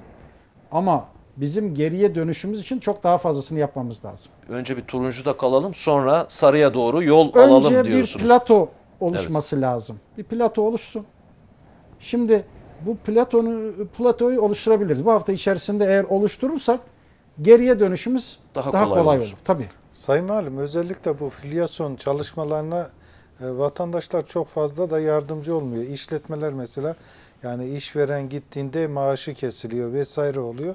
Ya da işletmeler iş kaybı yaşamamak için işçilere işte e, bir şekilde tam manasıyla vermeyin diye e, söylemler de var. E, bu da vakaları artırıyor mu? Nasıl e, yapmak lazım bu tarz e, durumlarda? Şimdi çok güzel bir konuya değindiniz. Teşekkür ediyorum öncelikle. Doğan Bey senin bu koltukların da çok rahat değil yalnız. ha. Bunları Evet, Sponsor bulmak lazım efendim Evet buraya. yani şu Evet. anda yani Haklısınız bu konuda. değil Buralar mi? Çok Evet, rahat haklısınız. değil. Arkaya şöyle bir yaslanırsam boşluk var. Bayağı bir boşluk bu var. e, buralarda da Evet, sıkıntı var efendim. Yaslanmasan sıkıntı var. Sürekli böyle Evet. kalamıyorsun. Yani Doğan Bey artık değişme zamanı değişelim. gelmiş bu Evet, koltukların evet. demek. Onu Sayın da belirtelim. Şimdi bakın İsmail Bey'in söylediği konu aslında bu mücadelede bizim en önemli noktalarımızdan bir tanesi. Herkesin herkesin üzerine düşeni yapması sadece tedbirlere uymakla değil, doğruları söylemekle de olacak bir şey bu. Yani bizler şimdi filyasyon ekibi geliyor. Diyor ki işte son 3 günde 5 günde neyse soruları soruyor. Kimle temas, Temas ettin? ettiniz. Ya diyor ki valla diyor ben diyor şunun ismini versem bu çalışıyor. Bunun Maaşı görevi şu. kesilecek. Bu tüccar dükkanı kapatacak. Geçen gün filyasyon raporuna baktım. Ya diyor ki şu şu iş yerinin sahibi diyor. Diyor ki filyasyon raporunda diyor ki 15 gündür işe gitmemiş. Ya dedim ki ya Allah rızası için. Yani söylediğiniz şey hayatın olağan akışına aykırı. Aykırı. Değil mi? Hayatın Kesinlikle. olağan akışına aykırı. Şimdi düşünün ben vaka e, pozitif oldum. Ya ben 15 gündür valiliğe gitmiyordum. yani bunun gibi bir şey. Yani hiç yani bir patron, değil. bir patron iş yerine gitmez mi 15 gün ya? Mümkün değil. Ya bu e, geçmişte daha önce de bir açıklamanız vardı. E, yani İsmail doğru bir yerden e, temas etti. E, bu e, filyasyon ekibinin e, temaslı sayısı kaçtan kaça geldi efendim? Yani geçmiş dönemlerde daha sağlıklı bilgiler veriliyordu galiba. Evet, evet. Son dönemlerde ne oldu? Yani sayı kaçtan kaça geldi? Şimdi onu da anlatayım. Şimdi bakın değerli arkadaşlar. Çok kıymetli Kayserili hemşerilerim. Bakın özellikle sizlerden istirham ediyorum. Sizlerden istirham ediyorum. Lütfen ama lütfen temaslarınızı doğru verin. Bakın sizin vermediğiniz her temaslı toplum içinde gezdiği müddetçe Yeni vakalar. tehlike oluşturacak, vaka sayısını artıracak ve az önce söylediğimiz bütün kazanımlarımızın uçması anlamına gelecek. Yani yeni kazanımlar elde edeme- edemediğimiz gibi var olanları da. Kaybedeceğiz. Yani şimdi siz ortalama daha önce 7.2 temaslı ismi verirken bunu 2.4'lere düşürdük. Çok büyük bir düşüş. Çok büyük Evet, düşüş. O filyasyon ekibine Kayseri Büyükşehir Belediyesi de araç tahsis etti sanıyorum. Elbette elbette. Ya birçok yerden takviye var bildiğim kadarıyla. Belediyemiz sağ olsun sadece araç takviyesi yapmadı. Bakın birçok da. anlamda Evet. personel olsun, az önce söyledim toplu taşıma olsun. Bütün belediyelerimiz bu konuda gayretli. Teşekkür ediyoruz. Bütün belediye başkanlarımıza. Sivil toplum örgütlerimize, bakın ticaret odamıza, ticaret borsamıza, Erciyes Anadolu Holding'e bakın. İnanılmaz destekleri oldu. Sanayi Odası, Ticaret Odası'nı söyledik. Borsayı Ticaret Borsası'nı söyledik. Erciyes Anadolu Holding bakın aylarca aylarca araç takviyesi verdi. Sağ olsun bakın biz hastanemizin eksikleri konusunda da yani eksikleri konusunda dediğim pandemi sürecinde ihtiyaç olanlar konusunda da Tefrişat sürekli gibi falan mı? Tefrişat gibi hastanenin tefrişat falan Yani mı yoksa daha başka şeyler mi? yani ihtiyaç olan birçok Ne alanda varsa. ne varsa arkadaşlar her zaman hazırız dediler. Bizim oradaki tabii ki ilk dönemde doktorlarımızı evlere göndermedik. Orada yatacakları yerleri organize ettik. Yani bunlar kolay şeyler değil. Aylarca o arkadaşlar orada kaldı. Onların ihtiyaçlarını karşılayacak her e, malzemeyi ve ihtiyaç duyulan her materyali oraya koymak zorundaydık biz. Sağ olsun arkadaşlarımız, belediyelerimiz, az önce de söyledim Erciyes Anadolu Holding, sivil toplum örgütleri hep yanımızda oldular. Bizler bu mücadeleyi böyle verirsek kazanırız. Şimdi filyasyona dönecek olursak, bakın eğer biz filyasyon ekiplerine gerçek temasları vermezsek, bakın virüsün yayılım hızı arttı. Bu artış çok daha büyük vaka sayılarına neden olabilir. O zaman bizim yani sarıya maviye dönmemiz yani çok çok uzun zaman alacak. Eğer biz bir an önce şu ortaya koyduğumuz mavi hedefe gitme, hedefine gitmek istiyorsak bizim mutlaka mutlaka filyasyon ekibine doğru bilgi vermemiz lazım. Efendim maviye geçtiğimiz zaman otomatikman e, pazar yasağı da kısıtlaması da ortadan kalkmış olacak Tabii mesela. bu- bunların Evet, hepsi kalkacak. Kalkmış olacak. Bu Evet. renkleri bir arkadaşlarımız ekrana bir versin. Ne anlama geliyor? Sayın Valimiz e, dolayısıyla bizlere de bilgilendirir. E, izleyicilerimize de net bir şekilde aktarmış oluruz. Çünkü mavide yasaklar tamamen Yani kalkıyor, hemen değil mi? hemen, evet, yani dolayısıyla yok. sarı sanki biraz daha e, Biraz daha fazla kısıtlamaların Kısıtlamalar olduğu oluyor. renk. E, turuncu bizim bulunduğumuz Domuz kategori. kategori. Yani buralarda tabii e, nikah e, Evet, ekrana yansıttı salonlarında arkadaşlarımız. kişi sayısından tutun da Burada. işte bu sivil toplum örgütlerinin kongrelerine kadar işte efendime söyleyeyim otellerin durumuna göre, restoranların, kafelerin durumuna göre birçok bizim kısıtlamanın şekli renge göre belirleniyor. Efendim şimdi e, kongreler deyince bana gelen e, sorular da var. Amatör Spor Kulüpleri Federasyonu'nun, konfederasyonunun kongresi var. Gazeteciler Cemiyeti'nin var önümüzdeki günlerde. 18'inde, 31'inde e, Mart itibariyle söylüyorum. Bugünün koşullarında kongreler yapılabilecek mi? En yetkili ağız olarak Evet, e, turuncu mutlaka renkte olduğumuz için mevcut durum devam edeceği için yapılacak. yapılacak. Yapılacak. Anladım. 300 Açıklayıcı. kişiyi geçmiyor değil mi? 300 Evet, kişiyi geçmeyen. Evet. sınırlaması var. 300 kişiyi geçen e, yani barolar. O da özel izleme yapmıyor. tabi oluyor galiba. Şimdi tabii bakın arkadaşlar bu konudaki tanımlama çok net. Yani sayı ta- tanımlaması net. Net. Yani zaman e, tanımlaması net. Net Biz eğer kırmızıya geçersek bunların hiçbiri olmayacak. olmayacak. Bunların hiçbiri olmayacak. O yüzden bizim çok hızlı bir şekilde Kayseri olarak tekrar güçlü irademizi ortaya koymamız lazım. Bizim bu rengi, bu rengi hızlı bir şekilde bir alt renge yolculuğa çevirmemiz lazım. Lazım. Bir bulunduğumuz noktadan bir yolculuğa çıkmamız lazım. Bu yolculukta da e, en büyük e, gücümüz bizim daha önce ortaya koyduğumuz iradedir. E, iyi niyettir, hassasiyettir. Kayserili hemşerim, hemşerilerim istedikten sonra, arzu ettikten sonra e, inşallah biz turuncuyu terk edip sarıya, oradan da maviye geçeriz. Evet kırmızı renkin e, zaten renkten de anlaşıldığı gibi e, dolayısıyla çok e, yüksek bir seviye e, bütün artık kısıtlamaların olduğunu anlamına gelir.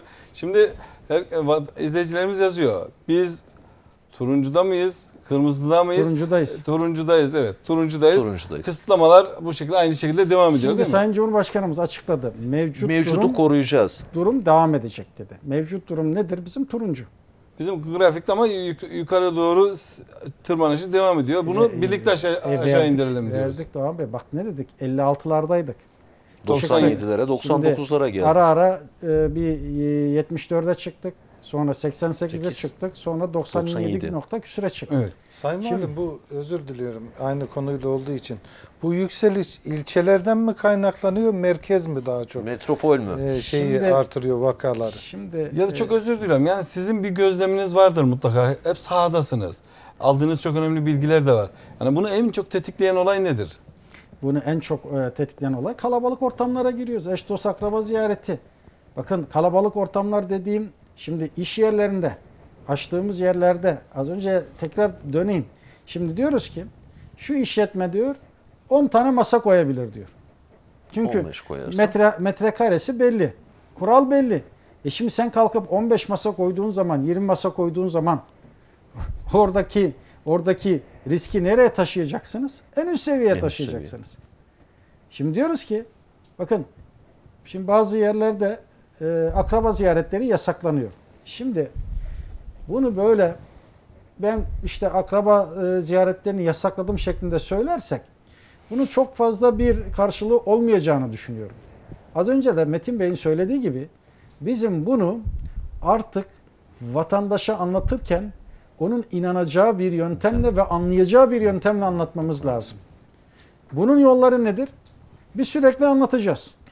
Ama bunun yanında işin uzmanları da anlatacak. Elbette. Ulusal kanallarda anlatıyorlar. Şimdi yerel kanallarda Onlarda da da. arkadaşlarımıza biz gönderelim. işin uzmanlarını gönderelim. Burada anlatsınlar. Bizim elimizdeki en güçlü silahımız tedbirlere uymaktır. Ve en az maliyetli olan odur. Hem kendi sağlığımızı koruyacak Hem hem, de toplumun sağlığını. sevdiklerimizin sağlığını koruyacak tedbirlere uyarsak. Bu silahı niye biz kullanmıyoruz? Ha, niye kullanmıyoruz? Anlamış değilim. Bir maliyeti yok. Ama Allah muhafaza hastalandığımız zaman veya bir e, can kaybettiğimiz zaman bunun maliyeti yani Ölçüsü yok. konuş Evet. dediğiniz gibi Ölçüsü ya, yok. ölçülemez bir maliyet bu.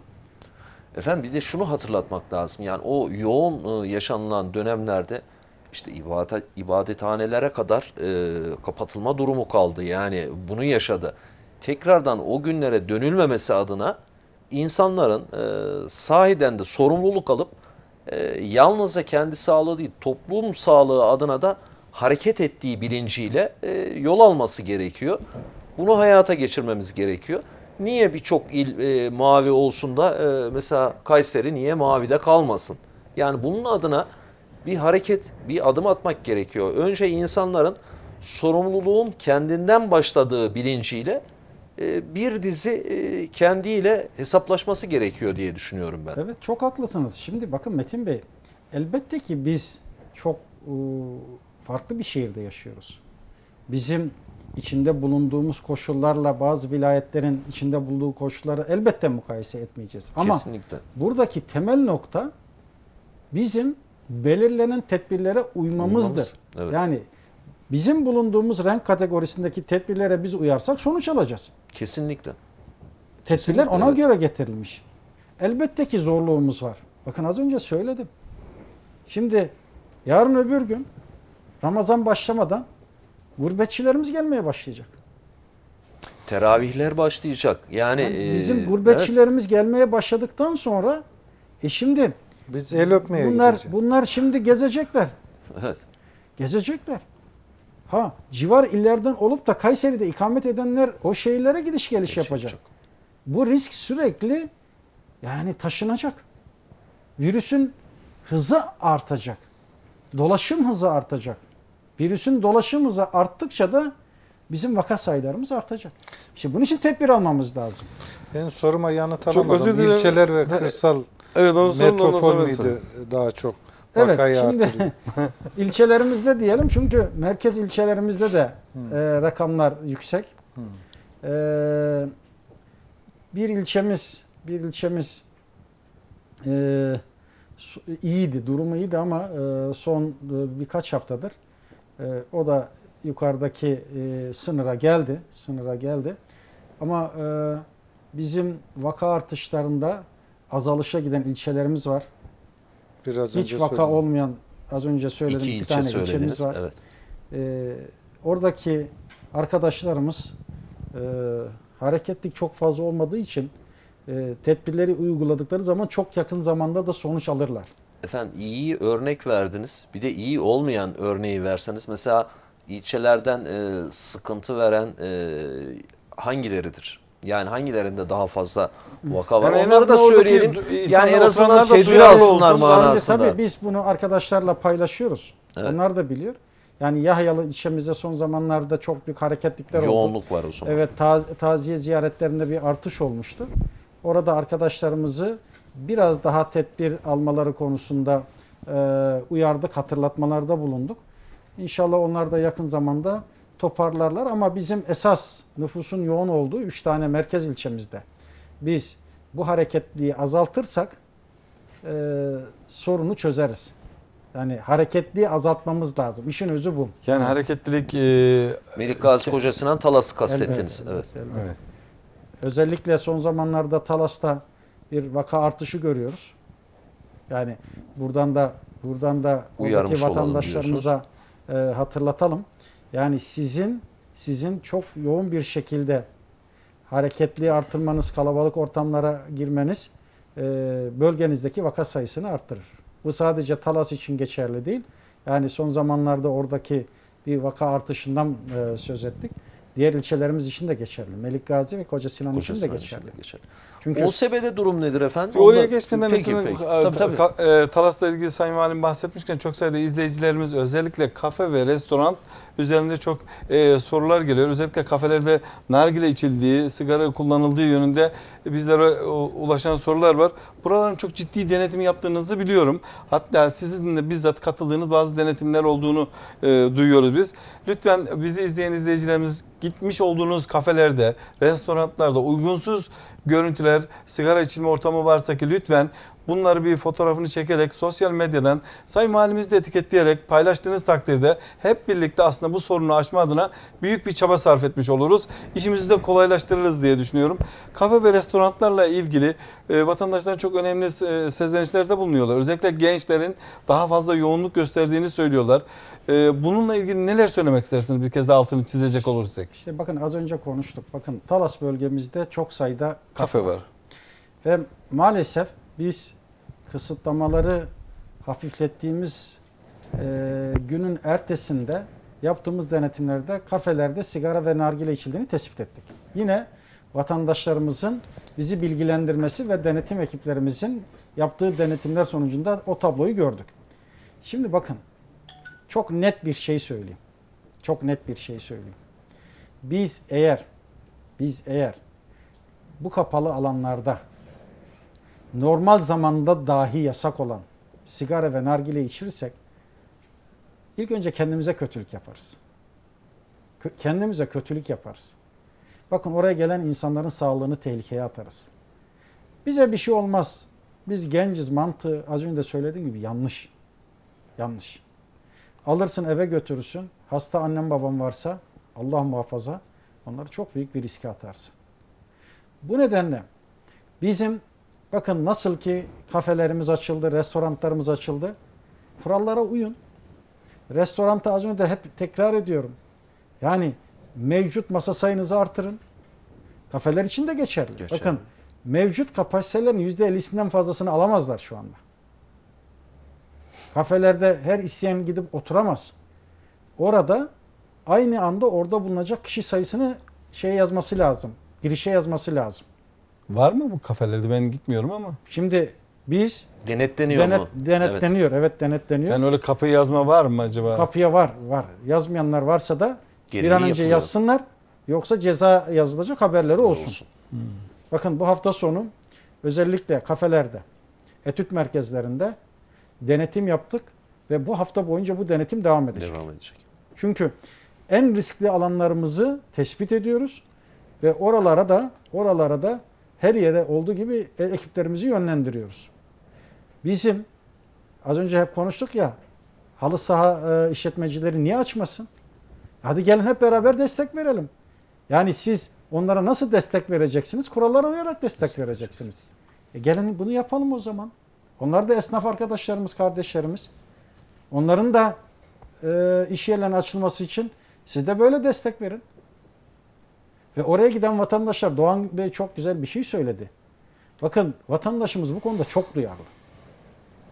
Lütfen sadece kafe ve restoranlar için söylemiyorum. Her alanda gördüğünüz aykırılıkları bildirirseniz bizim bu virüsle mücadelemizde başarı şansımız o kadar artar. Sonuç al- almamız kısalır. Ama ya görmezden gelmek, ne melazımcılık yapmak süreci uzatır. Bu kadar net. Şimdi OSB'yi sormuştunuz. OSB'yi de söyleyeyim. Bakın organize sanayi bölgesinde bir senedir hiç pandemi nedeniyle şu fabrika, e, fabrika hafız sağ kurulu kararıyla kapandı diye bir şey duydunuz mu? Duymadık.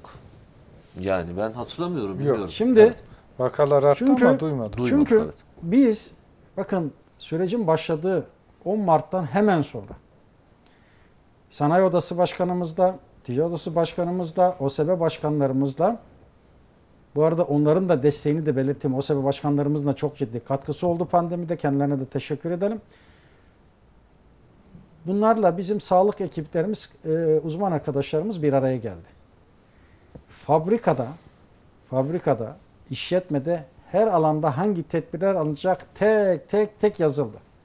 Yemekhanesinden mescidine kadar nasıl bir tedbirler e, zinciri oluşturulacak oturup onu konuştuk ve belirlediğimiz bu tedbirleri de hayata geçirme adına her iki tarafta sürekli konu üzerinde hassasiyetle durdu ve biz bugüne kadar o hassasiyeti devam ettiriyoruz. Çok şükür hiçbir tane fabrikamızın kapısına kilit vurmadık. O önemli bir detay. İyi de gidiyor diye biliyorum ben. İyi, yani halen soruyorum, gidiyor. soruşturuyorum. Zaman zaman bazı yerlerde, Bazı illerde kapandığını duyduk ama. Evet. bazı illerde fabrikalar kapandı ama çok şükür bir tane fabrikamız kapanmadı. Evet. Bakın bazı fabrikalarımızda hemen vaka artışlarını diyorum ama günlük görüyoruz. Bir tane fabrikamızda baktık bir günde 9 tane vaka. Hemen müdahale etti arkadaşlarımız. Hemen orayı aldılar. Oradaki bütün ekip e, çalışan arkadaşları hemen izole ettik ve o fabrikanın üretimi devam etti. Devam ettim. Hiç kapatmadık. O bölümlere bölümlere hemen kısmi izolasyona e, getirdik. Kısmi izolasyona olayı çözdük. Ama hiçbir işletmemizin kapısına kap- e, kilit vurmadık. Geçen ihracat rakamları açıklandı yıllık. Verilere Doğru. bakabildiniz mi? Yani tam aklımda değil ama ciddi bir artış olduğunu Ciddi bir biliyorum. artış var. Evet. Bakın Türkiye'nin ihracatı %5-6 seviyesinde azaldı. Doğrudur. Kayseri'nin %5 arttı. Arttığını biliyorum evet. Bakın şimdi tabii bunlar çok daha fazla ola- o- olmalı bence. Yani biz bununla yetinmeyiz. Biz Kayseri olarak çok daha fazlasını başarabiliriz. Pandemide yine başarılı olarak nitelemek lazım Sayın bakın Valim şimdi Türkiye'nin en çok ihracat yapan 10 tane e, vilayetine bir bakın. Bu 10 vilayet içerisinde ihracatını artıran tek vilayetin Kayseri olduğunu Kayseri. göreceksiniz. Ben yanlış görmediysem tablo Doğrudur. oydu. Siz istatistikçisiniz efendim. Daha Yani iyi takip etmişsinizdir. Tabloyu tabloyu şöyle e, gözümün önüne getirdiğimde ben sanki ilk 10 vilayet arasında en çok ihracat yapan vilayet arasında ihracatını artıran tek ilin Kayseri olduğu aklımda kaldı. Önemli Yani bir biraz, durum. %12 gibi bir rakamlardan bahsediyor. İzleyicilerimiz yazıyor şu an. Şimdi elbette yani rakamları e, şimdi ben de TÜİK verilerine bakmıştım. %5 e, civarında tabii o e, değişiyor. Bir önceki aya göre değişiyor, sektörlere göre değişiyor. Değişiyor. Yani e, bazı sektörlerde belki daha fazladır. Geçen Evet. yıla oranla demiş izleyicimiz sanayi odasının verilerine göre değil takip ediyorlar demek efendim size. Şimdi geçen geçen yılın verilerine göre TÜİK verileri bizim için esas olan TÜİK verileri.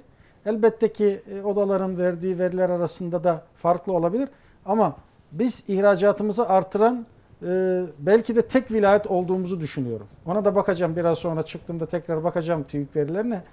Bunun şunun için söylüyorum. Siz pandemide tedbirlerinizi iyi alırsanız üretim zinciri akamete uğramaz Uğramaz. kesintiye uğramaz.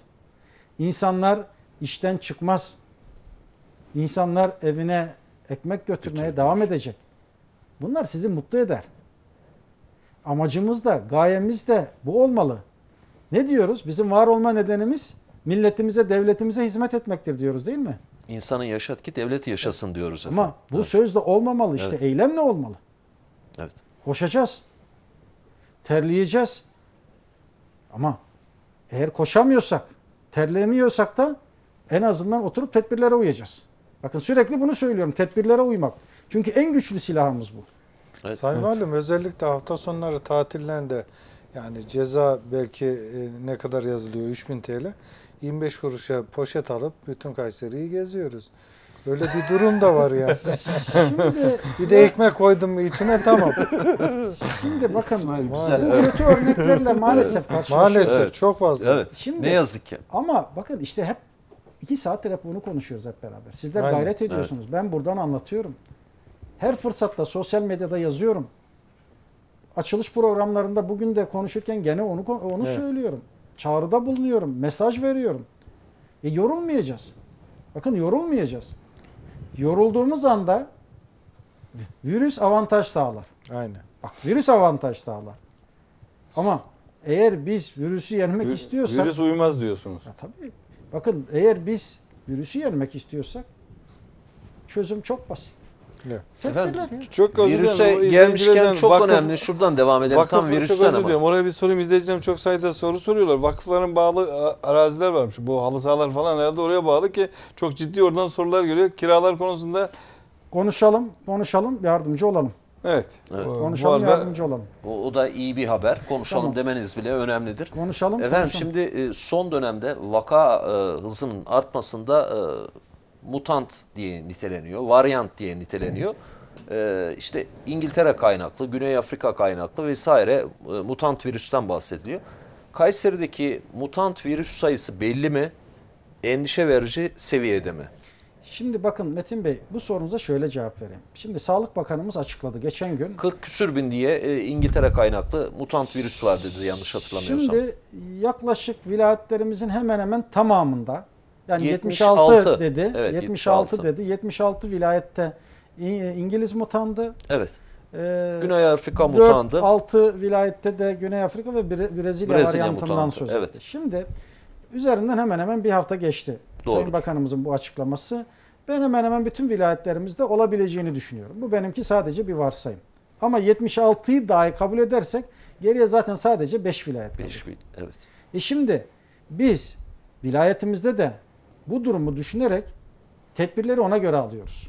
Yani e, rakam önünüze geliyor mu? İlla vermek zorunda Hayır hayır değilsiniz. e, yani. rak- o rakamı hayır, bilmemize de gerek yok. Yani hastanede mutlaka inceliyorlardır. E, bu işte Güney Afrika mutantı ya da İngiltere mutantı filan deniliyordur. Tabii tabii Bu- bunlar bunlar bakın Metin Bey e, hangi cins olursa olsun virüs virüstür. Doğrudur. Şu anda bizim amacımız virüsü virüsün yayılım hızını düşürmek. %70 fazla olduğu söyleniyor efendim de onun Şimdi için özellikle sordum. Elbette ki yani bilim adamları yani Bulaşın özellikle- %70 fazla olduğu ifade yani ediliyor. İngiliz varyantının olsun, diğer varyantların olsun Evet. bulaşı e, risklerinin daha yüksek olduğunu söylüyor. Aynen. E şimdi bazı bilim adamları çıkıp gençlerde de yayılım hızının yüksek olduğunu söylüyorlar. Onun için az önce söyledim. E şimdi bunlar tabii daha bilimsel çalışmalarla birçok şeyin ortaya konması gereken Gerekir. durumlar olabilir. Biz onları onları Yani şu anda bu böyledir, şöyledir kesinlikle diye beklememize gerek yok. Yaş grubuyla ilgili bir elinizde bilgi var mı efendim? Yani son dönemde bir aşağı doğru düşüşten bahsedildi Türkiye genelinde. Çocuklara kadar indiğine dair bu virüsün e, vaka sayısında e, hastanede böyle bir istatistik var mı? Yani istatistik ilgi alanınıza girdiği Şimdi için. şöyle bir şey. Belirli bir yaş grubuna indi Şimdi mi Metin yani? Bey bakın biz zaten 65 yaş üstünü erken aşılama nedenimiz de biliyorsunuz bizim hastane yükümüzde 65 yaş üstü ve kronik rahatsızlık önemli bir e, oranda idi. Doğru. Şimdi biz birçoğun aşısını tamamladık çok şükür. Ve tabii ki oradaki bulaş riskini üst yaş gruplarında biraz biraz aşağı Evet. çektik. Şimdi virüsün dolaşımda bizim yani bu gençtir, çocuktur bulaşmaz diye bir şey yok. Virüs herkese bulaşıyor. Bulaşıyor, Bebeğe de bulaşıyor. Evet. Yani bir aylık bebeğe de bulaşıyor. iki yaşındaki çocuğumuza da bulaşıyor. Bulaşıyor. Gençlere de bulaşıyor. Bakın öğrencilerimiz var. Doğru. Öğrencilerimiz ben gidiyorum. Bizim etüt merkezlerine gidiyorum. Biliyor arkadaşlar işte. Oralara gidiyorum. Gençlere özellikle söylüyorum. Bakın sevgili gençler. Siz biz genciz ayakta atlatırız diye çok Düşünmeyin. hafife alıyorsunuz.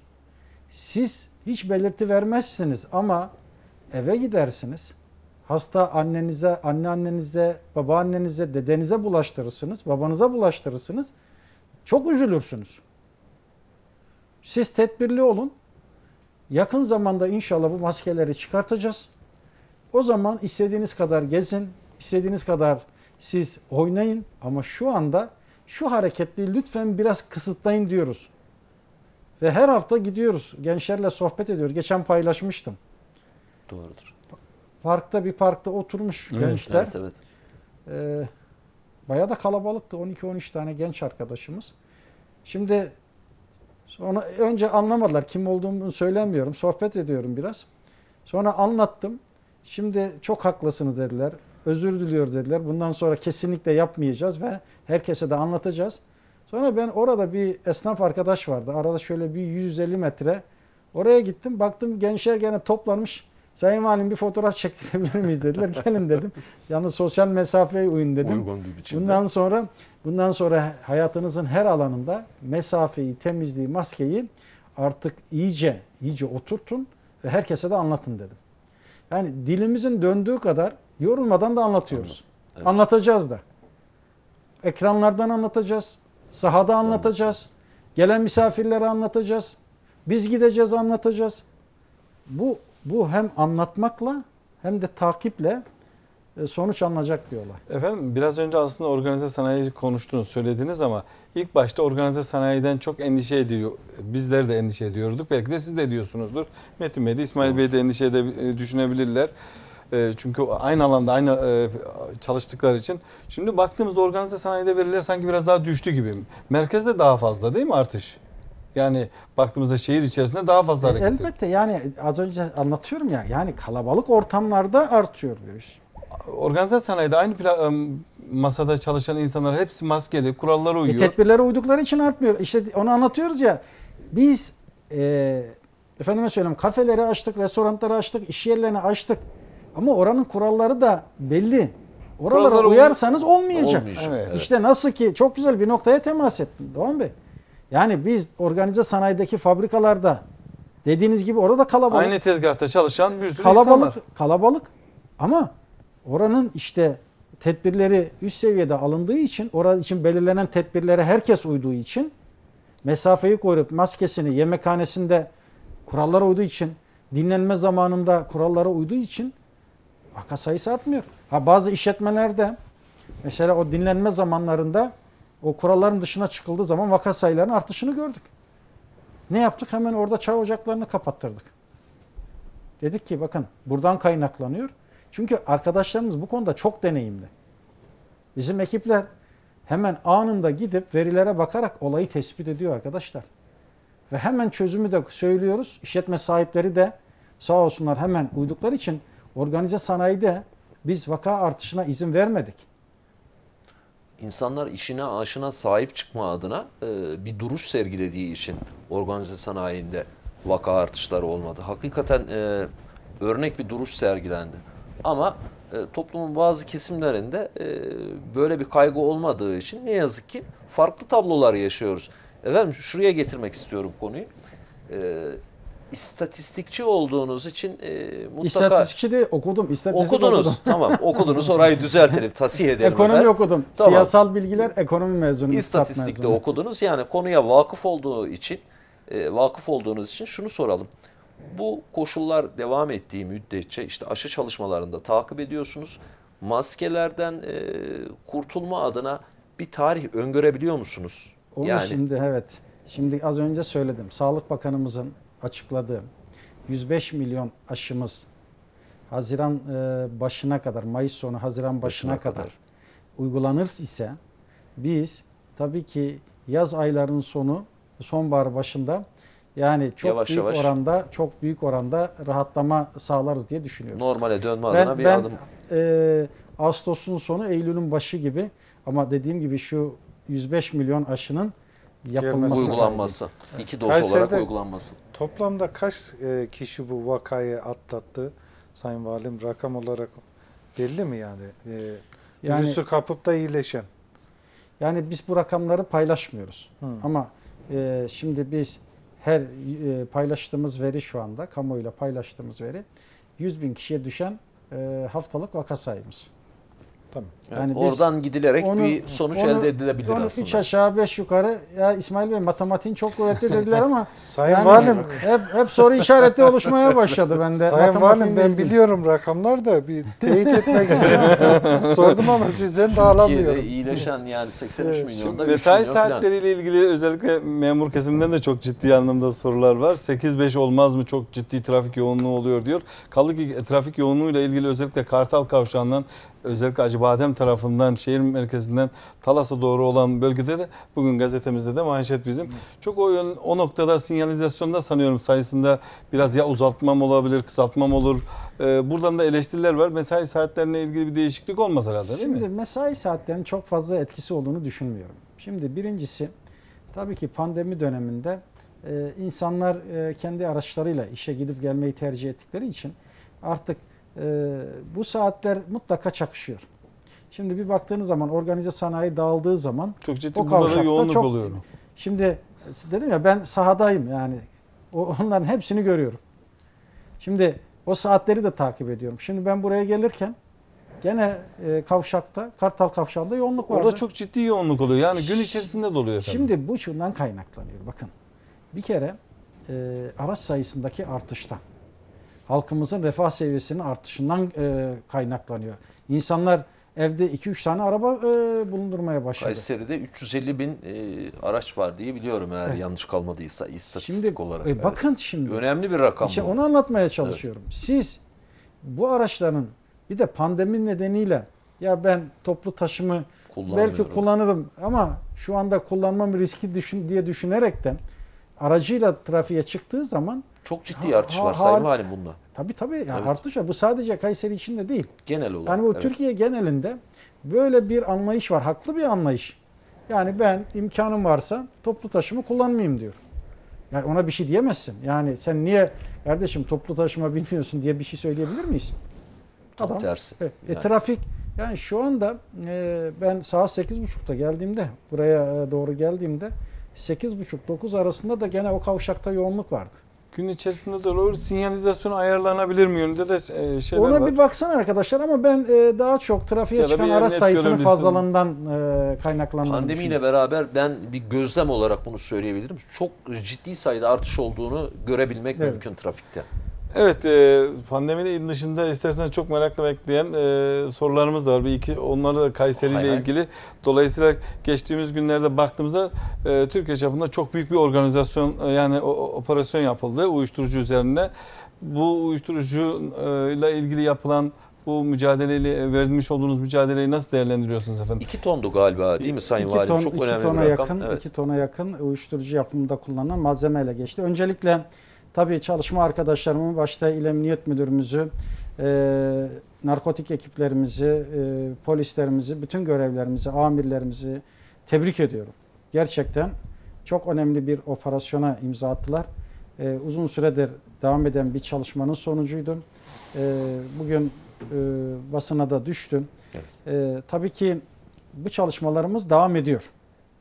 Biz e, çocuklarımızı, gençlerimizi zehirleyen bu anlayışa asla ve kat'a izin vermeyeceğiz Kayseri'de.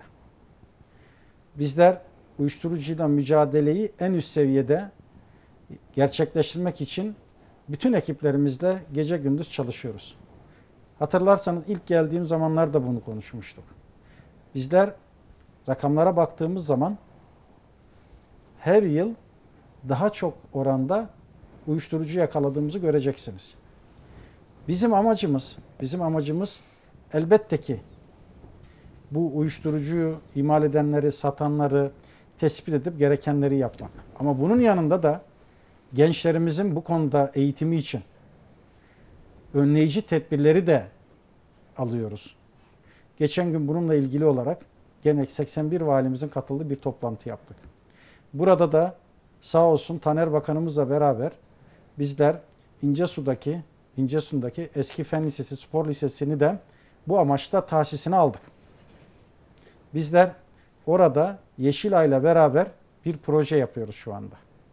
Türkiye genelinde Yeşilay danışmanlık merkezleri faaliyete geçecek.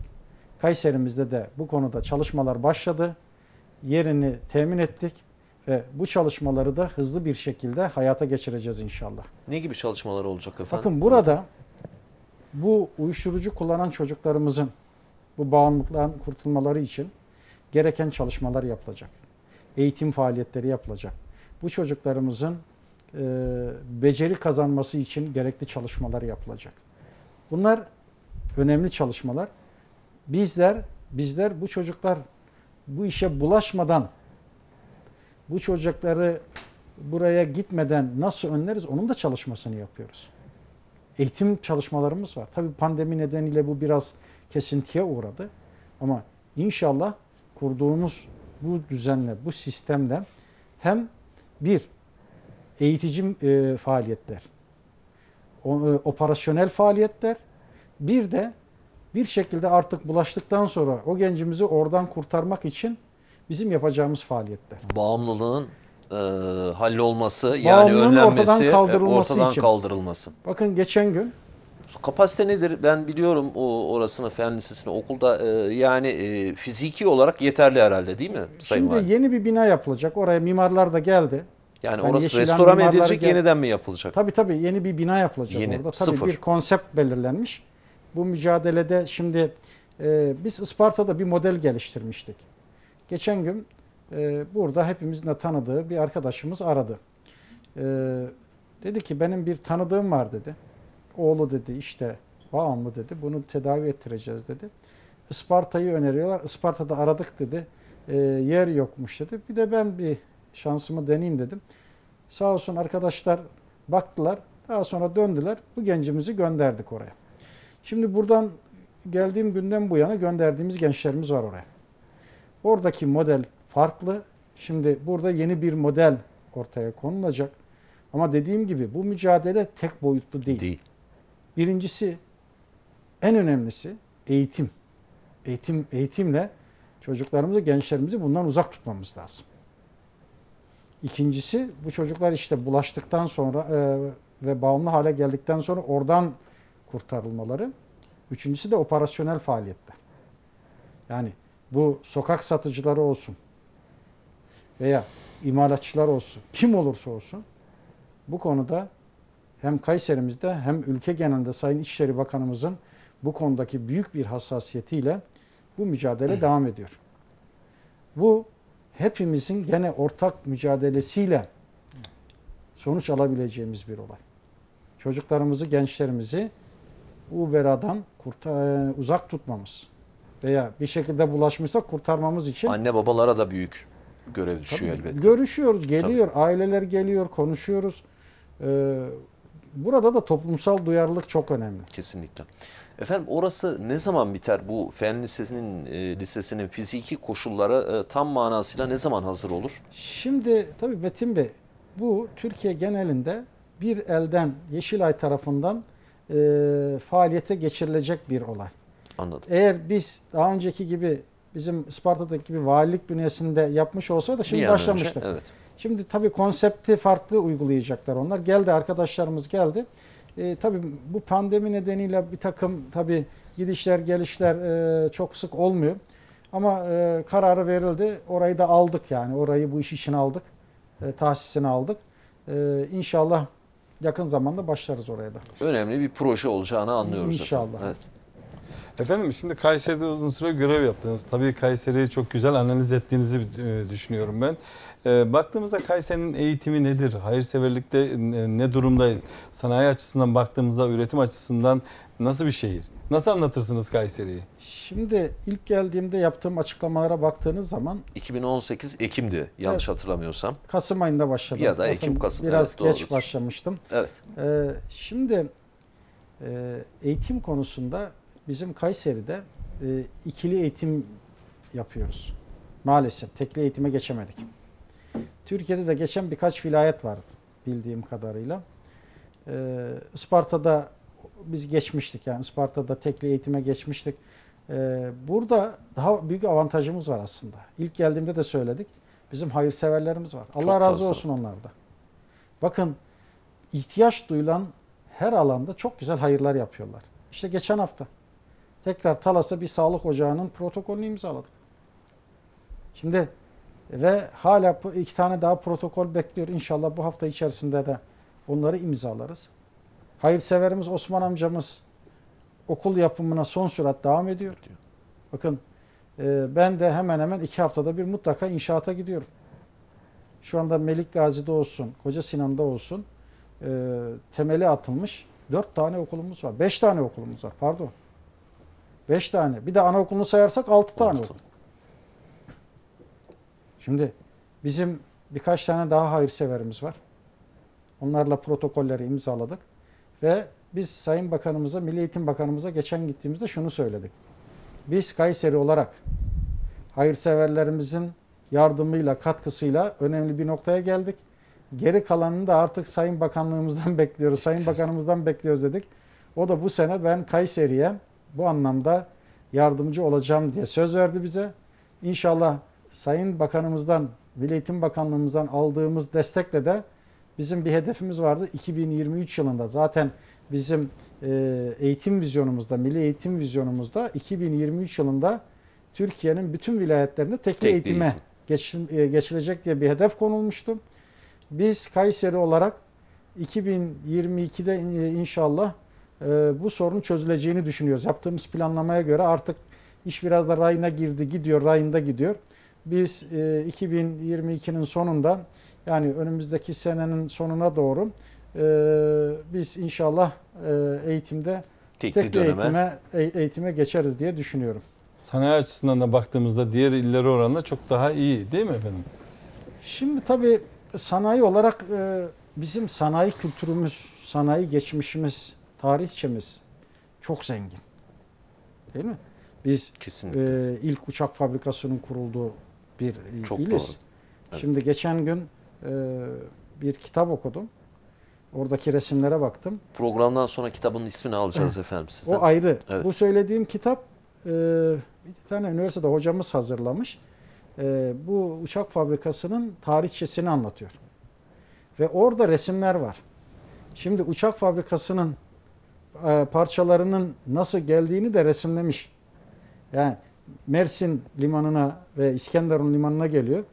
Oradan işte tren yoluyla Ulukışla'ya geliyor. Ulukışla'dan da deve sırtında fabrikalar şey e, parçalar Kayseri'ye geliyor. Deve sırtında. Evet, evet. Çok ilginç. Evet. Bunun resimleri vardı. Yani o fabrikanın yapılış aşamaları, buradaki uçakların hangi bölgeye indiğini o zaman, fabrika açılırken ki tören fotoğrafları, işte gelen işte Almanların e, Alman Junker firmasıyla ilk e, ortak e, bir e, fabrika açılıyor.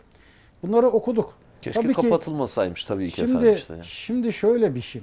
Aslında bizim bu konuda da çalışmalarımız var.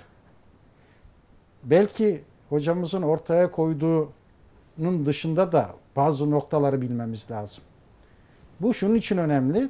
Yani Kayseri'de Kayseri'de uçak fabrikasının tarihçesi nedir? Ne oldu? Şimdi geçen gün arkadaşlara dedim ki ya biz şimdi Kayseri'ye gelene Kayseri ile özdeşleşen yiyecek olarak pastırma hediye ediyoruz. Ya bir birkaç tane şu kitabı da gösterdim. Şuradaki bu uçak modellerinden şey yapın. Üzerine yazalım. Kayseri Tayyare Fabrikası diye yazalım. Gelen misafirlerimize de bunu hediye edelim. Yani hiç olmasa yani bizim bu ilk uçak fabrikasının ev sahibi olduğumuzu da Kayseri olduğunu. olduğunu evet. da e, hatırlatmış oluruz. Böyle bir çalışma da yaptık. Bir iki model getirdi arkadaşlar ama e, çok da işin açıkçası içime sinmedi. Daha iyisini nasıl yapabiliriz ona bakıyoruz. Birkaç model var bende şimdi. E, üzerine de yazacağız işte Kayseri, Kayseri, Kayseri Tayyare, Tayyare Fabrikası. Fabrikası. Gelen misafirlerimize e, Kayseri hatırası olarak hediye edelim. Böyle bir çalışmamız Çok var. e, olumlu bir yaklaşım evet. Farklı bir yaklaşım. Yani e, buna da çalışıyoruz. Şimdi gelelim sanayimize. Bizim şimdi organize sanayi bölgelerinde gerçekten çok ciddi çok ciddi rakamlara e, ihracata çıkan firmalarımız var. Ama biz Kayseri olarak yani 2,5-3 milyar dolarlık ihracatlarla yetinmememiz lazım. Çünkü bunun çok daha fazlasını yapacak güçlü bir irademiz var. Güçlü bir sanayi e, tecrübemiz var. Bizim şu anda e, organize sanayi bölgelerinden bir tanesinde müteşebbis heyeti başkanıyım. Şimdi oranın alanını genişletiyoruz ve Türkiye'nin en büyük 10 e, organize sanayi bölgesi arasına alacağız inşallah. Sanayi Bakanlığı'ndan heyet geldi. Genişleme çalışmaları için hızlı bir çalışma sergiliyoruz. Yakın bir zamanda inşallah orada gelip 300-400 dönüm üzerine fabrika yapmak isteyenler var olursa onlara o araziyi de temin etmiş olacağız. İyi bir haber, müjdeli bir haber verdiğinizde. Şimdi- evet. Bu Türkiye'nin en büyük 10 organize sanayi bölgesi arasına girecek önce e, İncesu o- Organize Olsun, Sanayi evet. Bölgesi inşallah. Şimdi orada bir de e, tren yolunun siding hattını yapıyoruz. Onun kamulaşma çalışmaları bitmek üzere. Projelendirdik. Oradan limanlara rahatlıkla orada üretilen ürünleri indirmek limanlara veya demir yoluyla hem e, dışarıya, dış ülkelere hem de ülke içindeki pazarlara illere e, rahatlıkla götürebilmek için, nakliye maliyetlerini düşürmek için de orada demiryolu çalışmalarımız devam ediyor. İnşallah bu sene bitecek, o da bitecek. Bu sene faaliyete geçecek orası. E, bunlar önemli çalışmalar sanayimiz için. Bizler de e, fabrika sahipleri olarak, müteşebbis olarak, yatırımcı olarak mutlaka ve mutlaka ürün geliştirmeye, araştırma geliştirmeye biraz daha fazla katma değeri yüksek ürünlere biraz daha fazla e, ağırlık vermemiz, eğilmemiz lazım. Arge'ye biraz yönelmesi gerekiyor. Tabii, tabii Evet. yani şu anda inovasyon dediğimiz, ARGE dediğimiz olayı yapan firmalarımız var. İşte dışarıya makine satan e, firmalarımız var. Doğrudur. Kendim gittim, gördüm, ziyaret ettim. İnşallah çok daha iyisini yaparlar. Orada gencecik çocukları gördük. Mühendisleri gördük, gurur duyduk. Oturmuşlar e, yani makine çizimi yapıyorlar, makine yapıyorlar ve dünyaya makine satan ülkelere de makine satmaya başladık. O geçmişte de vardı efendim. Taksan vardı. Yani e, fabrika kuran fabrika gibi lanse edilirdi. Yani Kayseri'nin sanayisi e, geçmişten gelen bir şeyi var yani altyapısı var aslında. İşte onu anlatıyorum. evet. Biz de bunu bunu daha ileri noktalara nasıl taşırız? Oturup bunun çalışmasını yapıyoruz. Kesinlikle. Hep beraber e, oturup konuşuyoruz. Yatırımcılarımızla görüşüyoruz. E, zaten müteşebbis heyet toplantısını ayda bir kere yapıyorum. Bunun dışında sanayi odamız davet ettiği zaman gidip konuşuyoruz. Serbest bölgedeki fabrikalarımızı ziyaret ediyoruz. Pandemi nedeniyle biraz ara verdik ama inşallah ona da yakın zamanda tekrar başlarız. Sayın Valim olağanüstü bir süreçten geçiyoruz. Ee, zaman zaman e, tabii ki depremler ya da başka olağanüstü olaylar da oluyor. Siz bu olağanüstü olaylara karşı bir e, eğitim faaliyetleriniz oluyor mu? Bugün pandemi yaşıyoruz. Yarın Allah korusun deprem ya da başka bir zaman sel ya da başka tehlikeler olabilir. Bir eğitim faaliyetleriniz var mı? Bilgilendirmek için neler yapıyorsunuz? Çok teşekkür ediyorum. Ee, geçen gün e, basında da yer aldı. Bu sene e, 2021 yılı e, ülke genelinde afet eğitim yılı olarak ilan edildi. Sayın İçişleri Bakanımızın çok büyük önem verdiği bir olay. Biz e, nüfusumuzun %60'ını afetlere hazırlık hale, hazır hale getirmek için eğitimden geçirmek istiyoruz. Bu Kayseri'de nüfusun %60'ı yaklaşık 800 bin kişi yapıyor. Biz 2021 yılında inşallah nüfusumuzun %60'ını e, deprem ve benzeri afetler inşallah karşı. olmaz. İnşallah olmaz. İnşallah. Ama olursa da bu afetlere karşı hazırla, hazırlıklı hale getirmek için eğitimden geçireceğiz. Başladık. bütün muhtarlarımızı, bütün muhtarlarımızı e, yakın zamanda tamamlanacak e, üyeleriyle beraber, azalarıyla Azalarla beraber eğitimden beraber. geçiriyoruz. Bir tanesine ben katıldım. Bir tanesine ben katıldım. Bir ilçemizin bütün muhtar ve azalarıyla olan toplantıya katıldım, eğitime katıldım. Şimdi üniversitemizde bir protokol yapıyoruz. Biz eğitim faaliyeti de verecek. Yani afetle ilgili eğitim faaliyeti verecek eğitmenleri de yetiştirmek için bir protokol yapıyoruz. Buradan e, bütün vatandaşlarımıza sesleniyorum. Mutlaka ve mutlaka fırsatları olursa bu eğitim faaliyetlerine katılsınlar. Katılsınlar. Bizim e, sitemizi takip etsinler. E, biz açacağımız eğitim faaliyetlerine e, bu dönemleri de ilan ettiğimizde mutlaka takip etsinler. Katılmayı mutlaka ve mutlaka kendilerine hedef olarak belirlesinler. Çok önemli bir iş bu. Allah muhafaza. Afet geldiği zaman o anda ne yapacağını biliyor isen, o ana hazırlıklıysan kayıplarımız azalacak.